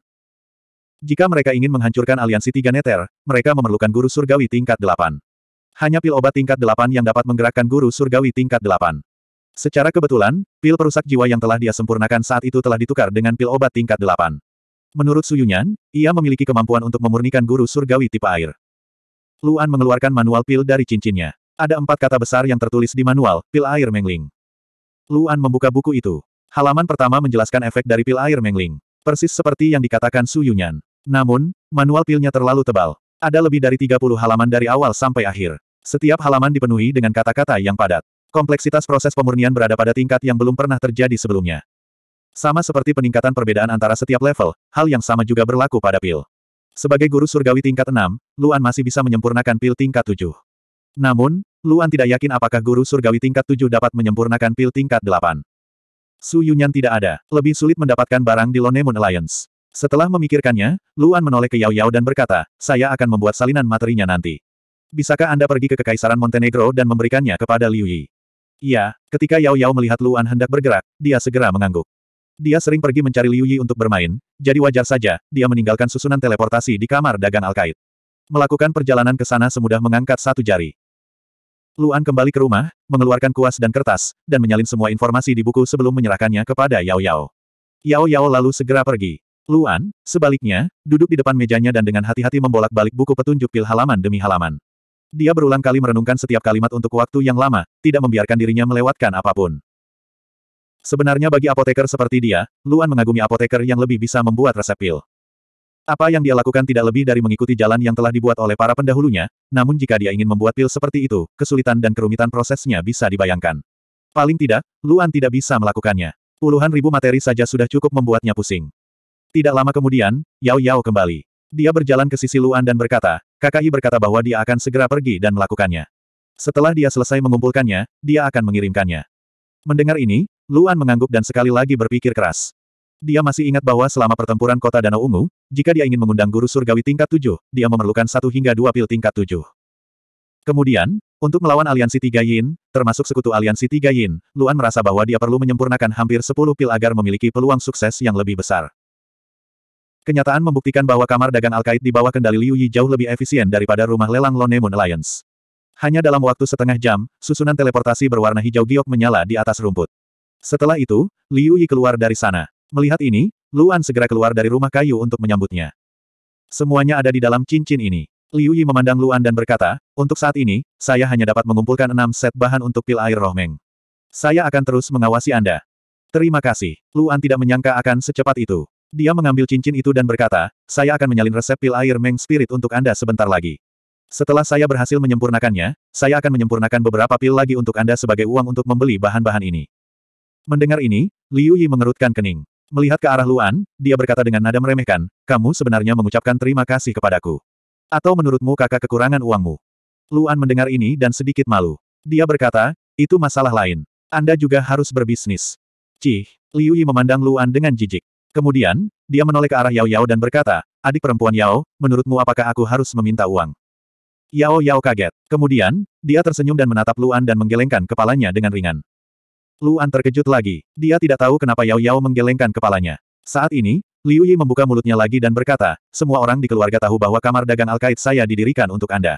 Anda dapat mengambil apa pun yang Anda inginkan. Bagaimanapun, itu semua milik Anda. Liu Yi benar. Saat Luan terpaksa melarikan diri ke laut, semua orang berpencar. Liu Yi memberitahu semua orang bahwa dia ingin pergi ke Kekaisaran Montenegro untuk mendirikan kamar dagang Al-Qaid. Pada saat itu, dia berpikir bahwa dia tidak akan pernah bisa menembus guru surgawi tingkat 6. Oleh karena itu, dia ingin menggunakan bisnis untuk membuka jalan bagi Luan. Meskipun dia sekarang adalah pemimpin pavilion di pavilion orang suci surgawi, hal ini tidak akan berubah. Namun, saya dapat mengambil resepnya. Namun, saya tidak terburu-buru. Jika sudah selesai, Anda dapat memberikan yang asli kepada saya. Melihat Luan sedikit terkejut, Liu Yi mengangkat bahu dan berkata sambil tersenyum, mengapa? Setelah sekian lama, apakah Tuan Tabibku akan kembali? Luan mengangguk ringan. Dia menarik napas dalam-dalam dan berkata, saya tidak tahu apakah saya berhasil memperbaikinya. Lagi pula, jarak antara saya dan guru surgawi tingkat delapan terlalu besar. Tidak apa-apa. Bahkan jika kamu tidak bisa memperbaikinya, kamar dagangku punya banyak pil tingkat delapan. Kamu bisa meminum apa pun yang kamu mau. Liu Yi berkata, segala sesuatunya harus diselesaikan terlebih dahulu sebelum hal lainnya. Pil bisa dimurnikan lagi. Namun jika terjadi sesuatu pada orang tersebut, maka tidak dapat diselamatkan. Luan terkejut saat mendengar ini. Dia berbalik untuk melihat ke arah Yao Yao, hanya untuk melihatnya dengan lembut menjilat bibirnya dan berkata, aku sudah memberitahu kakak Yi tentang hal itu. Kenapa? Dia memberitahuku ada apa? Apakah kamu memperlakukanku sebagai orang luar? Liu Yi langsung berkata dengan ketidakpuasan, sepertinya kamu hanya memperlakukan adik Yao dan kakak yang sebagai bangsamu sendiri. Dengan dua orang terbaik, kami para wanita tidak berguna, bukan? Tidak, tidak, tidak Luan langsung berkeringat dingin. Dia buru-buru melambaikan tangannya dan berkata, bagaimana mungkin? Kalau begitu, sudah beres. Liu Yi berkata, Anda dapat menyempurnakan pil air roh Meng ini terlebih dahulu. Saya akan membantu Anda menyiapkan beberapa pil tingkat delapan juga. Saat ini, saya memiliki banyak koneksi di lautan. Lagi pula, saya mewakili kamar dagang Al-Qaid, jadi sangat merepotkan untuk melakukan sesuatu. Namun, saya akan membangunkan jembatan untuk Anda dan memberi Anda kesempatan untuk bertemu dengan Master Aliansi dari aliansi lain atau bernegosiasi dengan mereka. Luan langsung senang saat mendengar ini. Jika itu yang terjadi, dia akan jauh lebih santai. Seperti yang diharapkan, metode Liu Yi tidak pernah mengecewakannya. Dia mengangguk dan berkata, baiklah, kalau begitu banyak. Hei, jangan berterima kasih padaku. Liu Yi mengerutkan kening. Dia mengangkat satu jari untuk menghentikan Luan melanjutkan dan berkata, baiklah, aku pergi. Cari aku jika ada hal lain. Setelah mengatakan ini, Liu Yi sekali lagi membuka susunan teleportasi dan berbalik untuk pergi. Ketika Liu Yi menghilang, Luan tidak bisa menahan nafas lega di dalam hatinya. Namun, dia juga sedikit gugup. Alasannya sangat sederhana. Cara Liu Yi berbicara dengannya sebelumnya agak ambigu. Meskipun ini juga cara Liu Yi biasanya berbicara, bagaimanapun juga, Yao ada di sisinya. Hal ini akan membuat Yao merasa sangat canggung dan tidak bahagia. Namun, saat Luan melihat ke arah Yao, dia menyadari bahwa Yao sama sekali tidak sedih. Sebaliknya, ada senyuman tipis di wajahnya. Bukankah kakak sangat baik? Yao bersandar di lengan Luan dan berkata dengan lembut, wanita yang kuat, bahkan aku ingin menikahinya. Luan terkejut saat mendengar ini. Dia tiba-tiba merasakan sakit kepala. Dia mengetuk kepala Yao dan berkata, jangan biarkan imajinasimu menjadi liar. Temani aku untuk terus melihat resep pilnya. Tanda pisah tanda pisah tanda pisah. Tanda pisah tanda pisah tanda pisah. Empat Laut Selatan, dalam wilayah aliansi Lonemun. Perang antara delapan aliansi besar telah berlangsung selama dua bulan penuh. Selama dua bulan ini, mereka bertempur dan berhenti, menyebabkan seluruh wilayah laut tenggelam dalam peperangan. Semua guru surgawi di wilayah aliansi Lonemun tidak bisa lagi memasuki laut dalam untuk menjelajah selama dua bulan. Setelah lama tidak bekerja, mereka dengan sendirinya memilih pergi ke wilayah laut aliansi lain. Dengan kata lain, apa pun yang terjadi, aliansi Lonemun akan kehilangan sejumlah besar guru surgawi di laut dalam. Kini, delapan aliansi besar terbagi menjadi tiga kubu. Salah satunya adalah tiga aliansi kegelapan yang dipimpin oleh tiga aliansi kegelapan. Yang lainnya adalah tiga aliansi gelap yang dipimpin oleh Sea Flipping Alliance. Adapun dua lainnya netral dan tidak ikut serta dalam masalah tersebut. Bisa dikatakan mereka sedang duduk di puncak gunung menyaksikan harimau berkelahi dan meraup keuntungan. Kedua kubu tentu saja tidak ingin melihat kedua aliansi ini bermalas-malasan. Mereka juga ingin menariknya ke dalam air, tetapi tidak berhasil. Sekarang perang menemui jalan buntu, tidak ada kemungkinan rekonsiliasi. Untungnya, Master Aliansi Lonemon tidak ikut campur. Seolah-olah dia ingin membiarkan mereka bertarung sepuasnya. Tiga aliansi gelap, tiga pulau gelap. Bentuk pulau tiga gelap sangat aneh. Bisa dikatakan terbentuk oleh tiga pulau. Ketiga pulau itu membentuk segitiga. Di tengahnya ada tanah panjang yang menghubungkan. Pulau seperti itu juga sangat langka di laut. Pada saat ini, di Pulau Bumi Tiga Pulau Gelap, di kedalaman gunung, ada sangkar besar yang tersembunyi di bawah tanah yang tidak diketahui oleh siapa pun. Dan di dalam sangkar ini, dua orang wanita yang diikat dengan borgol dan belenggu tergeletak di tanah yang dingin. Tubuh mereka penuh bekas luka. 1248. Wanita ini tidak lain adalah Su Yunyan. Rambut panjangnya acak-acakan bahkan sedikit kaku, seolah berulang kali direndam dalam air dan dijemur. Dia tidak mengenakan pakaian sama sekali dan telanjang bulat. Dengan kekuatannya, dia dapat dengan mudah melepaskan diri dari borgol dan belenggu kaki biasa. Namun, borgol dan belenggu kaki di tubuhnya adalah senjata dengan kekuatan penekan yang dapat menekan seluruh kekuatannya. Saat ini, dia seperti orang biasa yang tidak bisa menolak sama sekali. Sudah sebulan penuh sejak dia ditangkap dan dibawa ke sini. Selama bulan ini, dia menjadi sasaran pelecehan dan penyiksaan yang tidak manusiawi. Putra dari ketua aliansi Tiga Yin, Liang Gou, yang telah mengorbankan rasa ilahi saudara perempuannya, telah dianiaya seperti binatang selama bulan ini. Namun, dia tidak membiarkannya mati, jika tidak, saudara perempuannya juga akan menderita. Setiap siang dan malam, Su Yunyan berjuang dalam kesakitan dan penyiksaan. Pada saat ini, dia perlahan bangun, tetapi begitu dia bangun, dia merasakan sakit di sekujur tubuhnya. Dia mengerang dan bahkan tidak berani bergerak. Hati Suyunyan hampir hancur setelah hari-hari kelam seperti itu. Dia tidak tahu kesalahan apa yang telah dia lakukan hingga menjadi sasaran penyiksaan seperti itu. Bulan menjalani kehidupan yang lebih buruk dari kematian ini hampir menghancurkan semua harapannya. Ketika dia pertama kali ditangkap, dia berharap seseorang akan menyelamatkannya. Di antara kandidat yang bisa menyelamatkannya, yang paling jelas adalah Luan. Setiap hari, dia berharap Luan akan datang dan menyelamatkannya, tapi setelah sebulan, dia perlahan-lahan kehilangan harapan. Dia juga tahu bahwa dialah yang meminta Luan kembali ke Pulau Lonemun dalam dua bulan. Namun, dia tidak tahu sudah berapa hari berlalu sampai sekarang. Dalam persepsinya, sepertinya beberapa bulan telah berlalu. Bang! Tiba-tiba, pintu besi penjara terbuka dan membentur tembok dengan suara yang keras dan berat. Cahaya menyilaukan bersinar dari luar dan sesosok tubuh gemuk masuk melawan cahaya. Di belakang sosok gemuk itu ada seorang wanita kurus. Pria gendut itu mengangkat tangannya dan segera mengeluarkan beberapa api hingga menyulut lampu minyak di dinding. Segera, seluruh sel penjara menyala.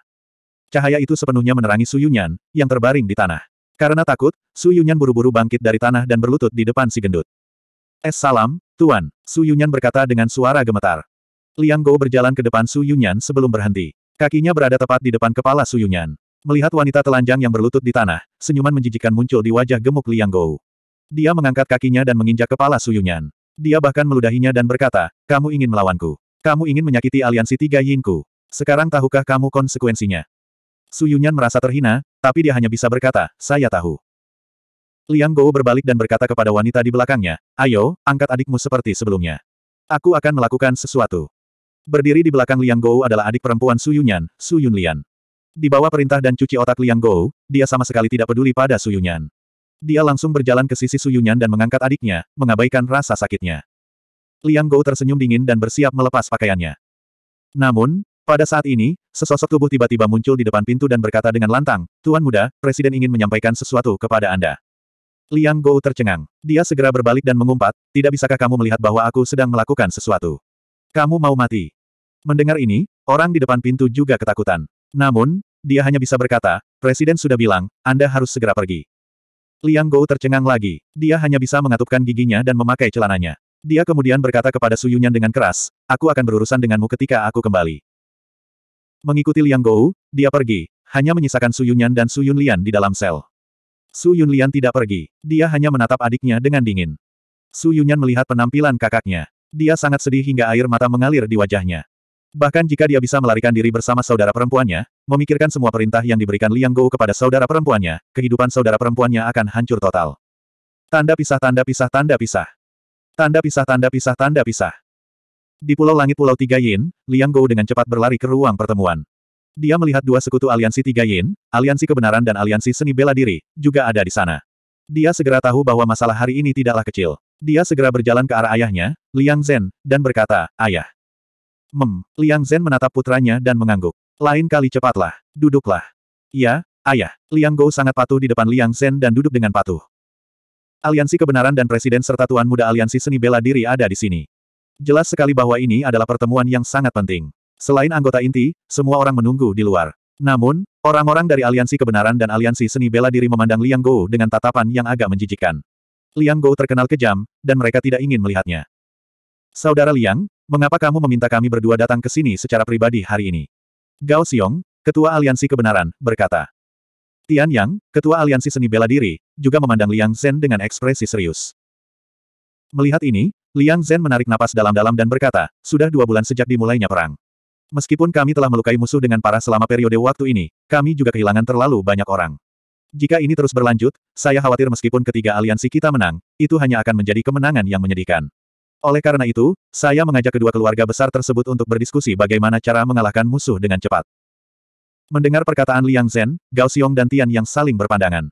Jika mereka punya cara, mereka pasti sudah menggunakannya sejak lama. Mengapa mereka membuang-buang waktu hingga hari ini? Tian yang berkata kepada Liang Zhen, sepertinya saudara Liang memanggil kami ke sini karena Anda punya cara. Liang Zhen tersenyum dan berkata, ini bukan cara, tapi saya punya rencana. Karena kalian berdua sudah bertemu, mari kita diskusikan apakah itu memungkinkan. Gao Xiong dan Tian yang tercengang dan segera berkata, tolong bicara, saudara Liang.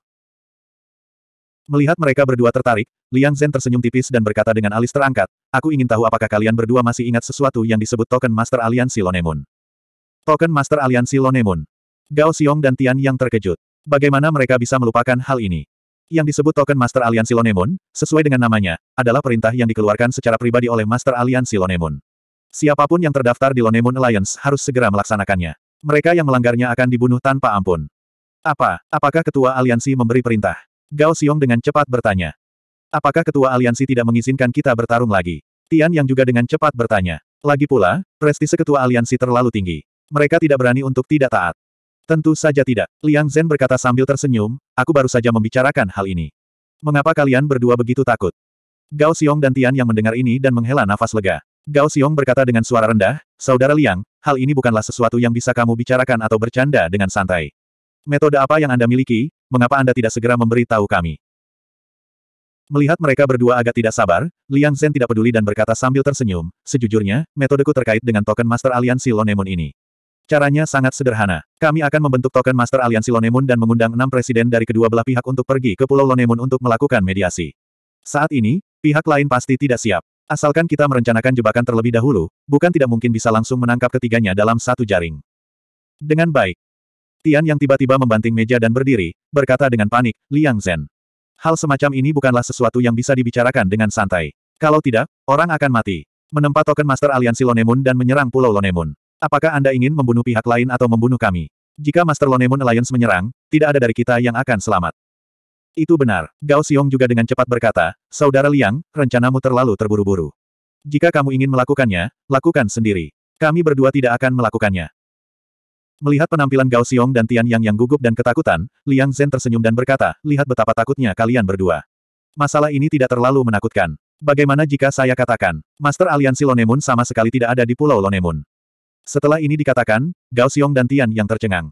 Apa maksudmu? Tian yang mengerutkan kening dan bertanya, bagaimana Anda tahu bahwa ketua aliansi tidak ada di Pulau Lonemun?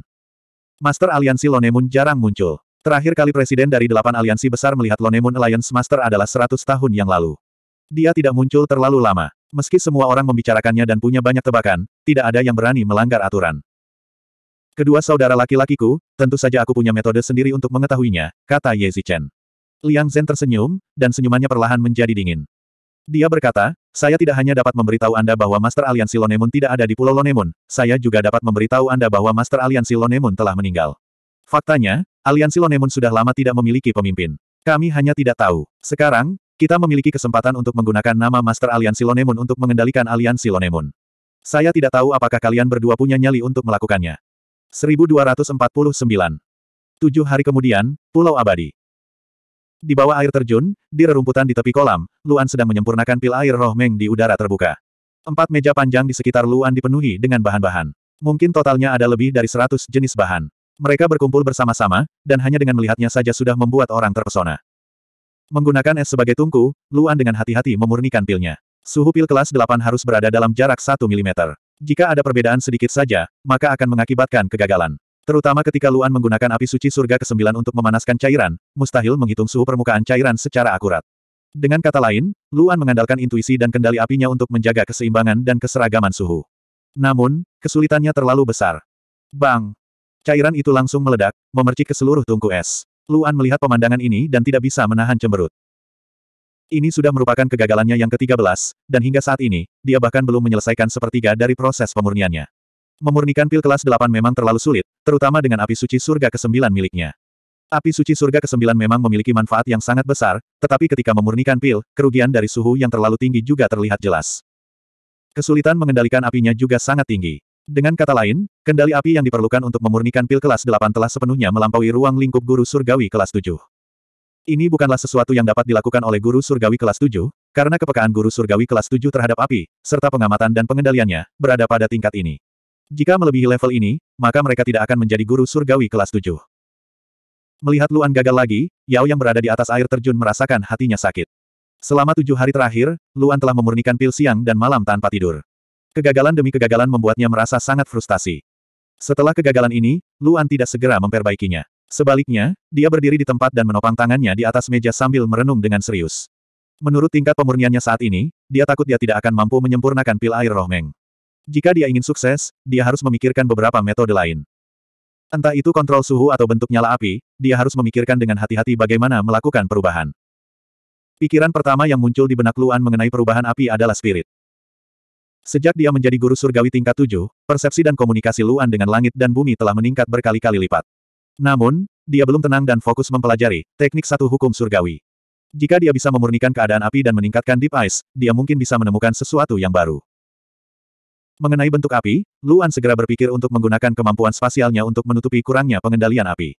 Namun, hal semacam ini mudah untuk dikatakan, tetapi mungkin tidak semudah sebelumnya. Jika bukan Luan, orang lain akan meninggalkan ide ini bahkan jika mereka memikirkannya.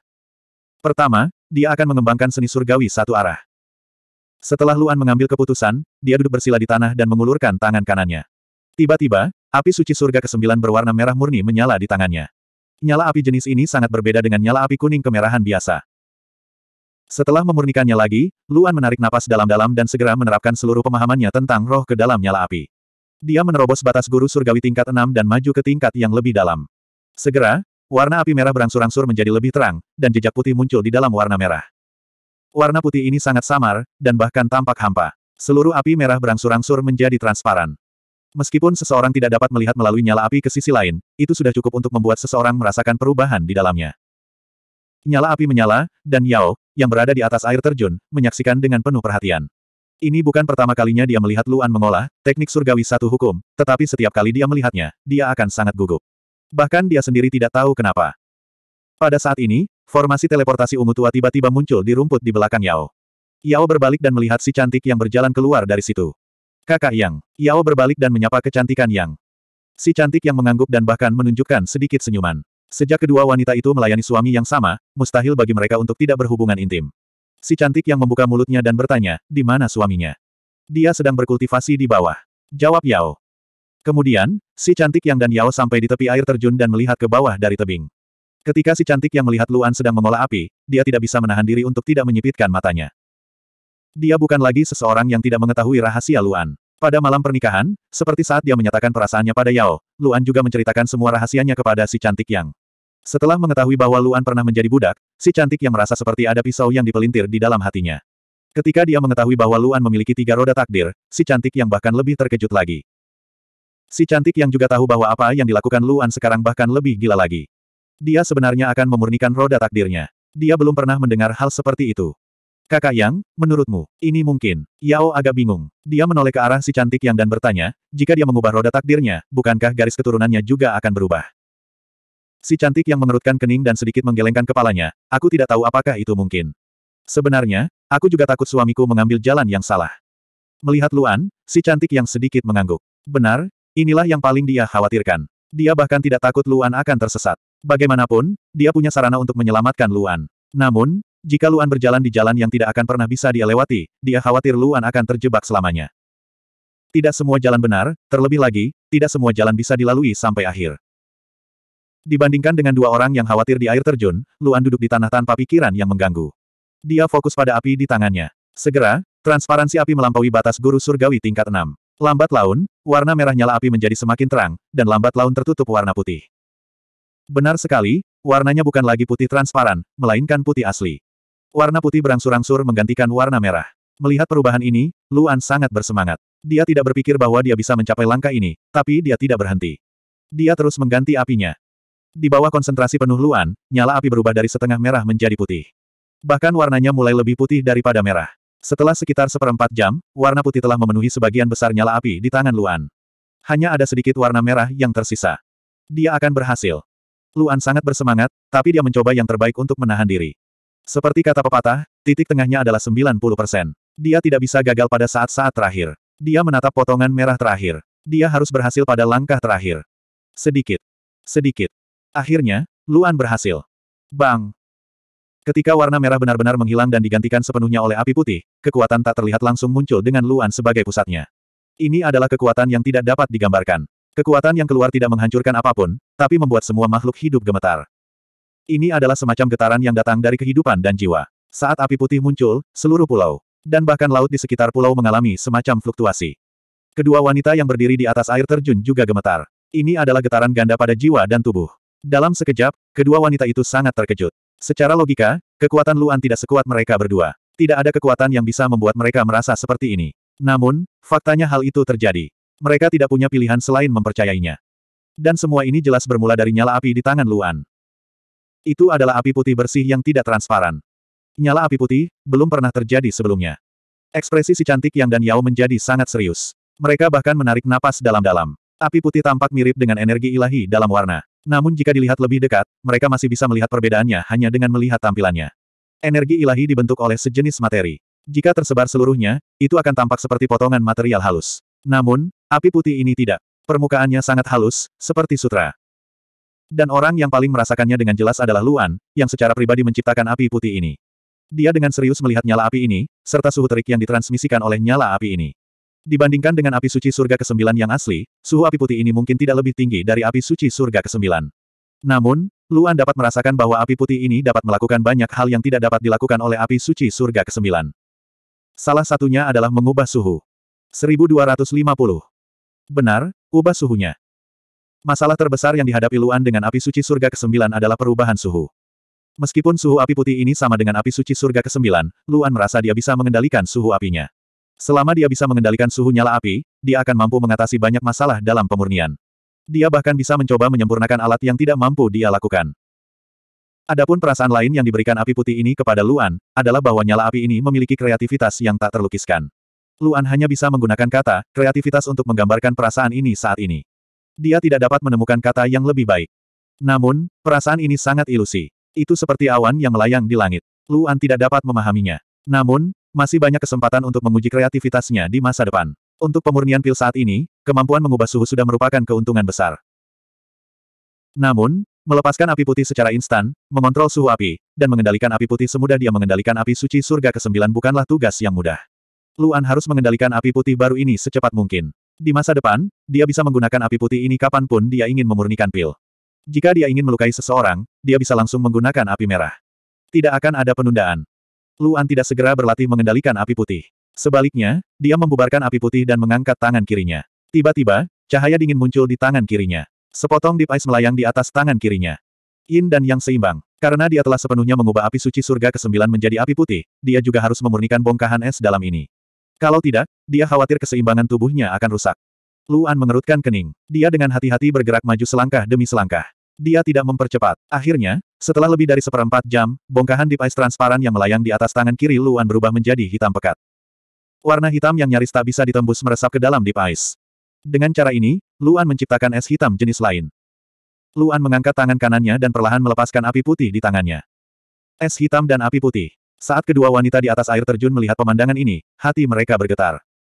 Bahkan anak-anak pun tahu bahwa hitam dan putih mewakili yin dan yang. Bagaimana mungkin mereka tidak tahu? Namun, mereka belum pernah melihat orang mewujudkan yin dan yang sedemikian rupa.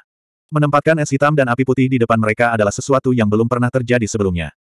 Luan berdiri dari rumput. Melihat kekuatan baru yang melayang di tangan kiri dan kanannya, dia menghela nafas lega. Akhirnya, dia mengambil satu langkah maju dalam pencariannya akan roh. Meskipun dia tidak tahu apakah dia benar atau salah, selalu baik untuk melakukan beberapa perubahan. Selain itu, Luan merasa es hitam juga mengandung kekuatan aneh setelah perubahan. Jika dia harus mendeskripsikannya, itu akan menjadi semacam kemampuan nirwana. Ini benar-benar kebalikan dari kreativitas api putih. Hal ini membuat Luan merasa mungkin es hitam dan api putih dapat menghasilkan terobosan besar bahkan dalam hal serangan. Tapi sekarang, Luan tidak terlalu memikirkannya. Sebaliknya, dia dengan cepat menyesuaikan diri dengan kedua kekuatan ini dan terus berlatih mengendalikannya. Dalam proses latihan berulang kali, Luan merasakan semacam perubahan pada tubuhnya. Perasaan yang tak terlukiskan. Mungkin tidak ada perubahan pada tubuhnya, tapi ada perasaan aneh. Luan tidak tahu bahwa garis keturunannya lah yang berubah. Saat api putih dan es hitam muncul, garis keturunan di tubuhnya mulai berubah. Penggunaan dan latihannya yang berulang-ulang hanya mempercepat prosesnya. Tidak peduli apakah itu garis keturunan yang diwarisi dari keluarga Chu atau garis keturunan yang diberikan kepadanya oleh pria dalam kabut hitam, semuanya berubah. Mereka menjadi garis keturunan unik yang sepenuhnya milik Luan. Di bawah pengaruh dua garis keturunan tersebut, garis keturunan yang ditinggalkan ibu Luan, Luting, juga berubah. Namun, Luan belum mengetahuinya. Alam Dewa Iblis berkembang sedikit demi sedikit, dan bergerak menuju tingkat yang lebih dalam. Akhirnya, setelah sehari semalam berlatih, meskipun Luan tidak bisa menggunakan api putih dan es hitam secara luas, dia akhirnya bisa menggunakan es hitam dan api putih dalam jumlah kecil, seperti bagaimana dia menggunakan roda takdir ganda. Luan belum memberi nama pada kedua kekuatan ini. Menurutnya, itu tetaplah es dalam dan api suci surga ke-9, tetapi bentuknya telah diubah olehnya. Karena dia bisa mengendalikan apinya, Luan segera mulai mencoba mengolah pil air mengling. Api putih langsung muncul di tangan Luan. Di bawah kendali Luan, suhu berangsur-angsur berubah. Saat suhu terus menurun, warnanya juga berubah. Dari warna merah api suci surga ke-9, perlahan berubah menjadi warna kuning kemerahan, dan warna kuning menjadi semakin jelas. Benar sekali, suhu api putih itu sama dengan api suci surga ke-9, tetapi memiliki kekuatan yang lebih besar. Namun, jika dia ingin menurunkan suhunya, dia harus mengembalikannya ke api suci surga ke-9, dan kemudian menurunkannya dari warna merah api suci surga ke-9. Akhirnya, Luan menghentikan suhu pada tingkat terbaik yang dia inginkan dan segera mulai memurnikan pilnya. Kali ini, masalah Luan terpecahkan. Bahkan memberi Luan kemampuan untuk mengontrol suhu api yang tidak bisa dilakukan oleh apoteker lain. Di bawah suhu yang paling sesuai, bahan mulai meleleh dan terurai secara teratur. Luan dengan cepat menambahkan satu persatu. Pemurnian pada suhu yang berbeda adalah hal yang mudah baginya. Di atas air terjun, si cantik yang sudah pergi. Dia awalnya ingin berbicara dengan tuannya, tetapi dia tidak ingin mengganggu kultivasinya. Sekte kota ungu sangat sibuk, jadi dia tidak punya pilihan selain kembali untuk mengurus bisnis. Yao duduk di tepi tebing, memperhatikan Luan. Dia tidak pernah pergi. Matanya penuh cinta dan harapan. Akhirnya, setelah tiga hari penuh, di bawah api suci surga ke-9 yang kuat, Luan secara langsung memecahkan masalah yang hanya bisa diselesaikan oleh guru surgawi tingkat ke-8. Semua bahan disegel di Deep Ice. Setelah waktu fusi terakhir selesai, pahala akan selesai. Bang! Sebuah suara datang dari dalam es. Wadah berisi bahan tersebut meledak. Tiba-tiba, sebuah pil muncul di dalam es. Luan terkejut. Dia segera memisahkan esnya dan meraih ke dalam, mengambil pil itu. Saat dia menyentuhnya, terasa setengah hangat dan setengah dingin. Tidak ada sedikit pun aroma pil. Bahkan jika dia meletakkannya di depan hidungnya, dia tidak bisa mencium baunya sama sekali. Pil itu berwarna biru aqua. Ada pola yang rumit dan jelas di dalamnya. Luan mengamatinya dengan cermat. Setelah memastikan bahwa tidak ada perbedaan antara pola yang dijelaskan dalam buku, dia menghela nafas lega. Di antara pola-pola ini, yang paling jelas adalah pola lingkaran es dan api. Walaupun pola es dan api ini memiliki lebar yang sama seperti sebelumnya, hanya berupa lingkaran kecil, namun lebih terlihat jelas dari sebelumnya. Warnanya juga lebih transparan. Bagaimanapun, pil air Mengling ini sepenuhnya dimurnikan oleh Luan. Dengan pil air Mengling ini, Luan juga memiliki modal untuk bernegosiasi dengan guru surgawi tingkat ke-8. Dari awal penyempurnaan pil ini hingga sekarang, 11 hari penuh telah berlalu. Meski terlihat sangat panjang, ternyata jauh lebih pendek dari yang dibayangkan Luan. Selama dia menguasai metode ini, penyempurnaan berikut tidak akan terlalu merepotkan. Jika dia ingin menyempurnakan pil lagi, mungkin dua hari sudah cukup. Dia menyempurnakan pil itu selama 11 hari. Su Yunyan menghabiskan 11 hari lagi di bawah kendali seseorang. Luan pernah menjadi budak. Tentu saja, dia telah melihat segala macam hal kotor. Dia tidak punya waktu untuk menyempurnakan pil lainnya. Sebaliknya, dia melompat ke air terjun, dan berdiri di samping Yao. Nyonya, saya masih membutuhkan Anda untuk membuat Liu Yi datang lagi. Luan berkata dengan serius. Yao mengangguk ringan, dan segera membuka gerbang dunia ilahi untuk pergi. Setelah hanya sepuluh napas, gerbang dunia ilahi sekali lagi terbuka di depan Luan. Yao dan Liu Yi keluar satu demi satu. Liu Yi tahu bahwa jika Luan belum selesai memurnikan pilnya, dia tidak akan mencarinya. Saat dia mendarat, dia langsung bertanya, apakah kamu berhasil memurnikan pilnya? MN. Luan menjawab. Dia langsung mengulurkan tangannya dan membukanya. Di dalamnya terdapat pil air mengling. Liu Yi meminum pil itu dan memeriksanya dengan cermat. Saat ini, dia telah melihat banyak pil tingkat ke-8. Dari kerumitan pola pil ini, itu memang pil tingkat ke-8. Namun, polanya bisa saja dipalsukan. Banyak orang menggunakan ini untuk menipu pembeli. Tentu saja, Liu Yi pasti tidak akan mencurigai Luan berpura-pura. Dengan kata lain, Luan kini telah resmi masuk dalam jajaran master kedokteran tingkat ke-8. Master kedokteran tingkat ke-8 adalah eksistensi puncak bahkan di empat kerajaan besar. Liu Yi melihat pil air Mengling. Pil ini bukan hanya pil tingkat ke-8. Itu juga mewakili status. Liu Yi mengangkat kepalanya dan menatap Luan. Hingga saat ini, kamar dagang Alkait bahkan tidak memiliki master pengobatan tingkat ke-8. Selamat. Liu Yi tampak sangat tulus. Matanya yang cerah menatap Luan, dan dia berkata dengan serius, kamu memang ahli pengobatanku. Luan terkejut. Setelah itu, dia tertawa gembira dan berkata, bagaimana dengan sisimu? Apakah Anda menghubungi guru surgawi tingkat ke-8 di laut? Iya. Liu Yi mengangguk dan berkata, saya telah mengatur agar Anda bertemu dengan tiga guru surgawi tingkat ke-8. Adapun berapa banyak yang dapat Anda bujuk, itu akan tergantung pada kemampuan Anda sendiri. Saat dia mengatakan itu, Liu Yi berhenti dan bertanya, kapan kamu akan berangkat? Mata Luan menyipit, dan dia langsung berkata, sekarang.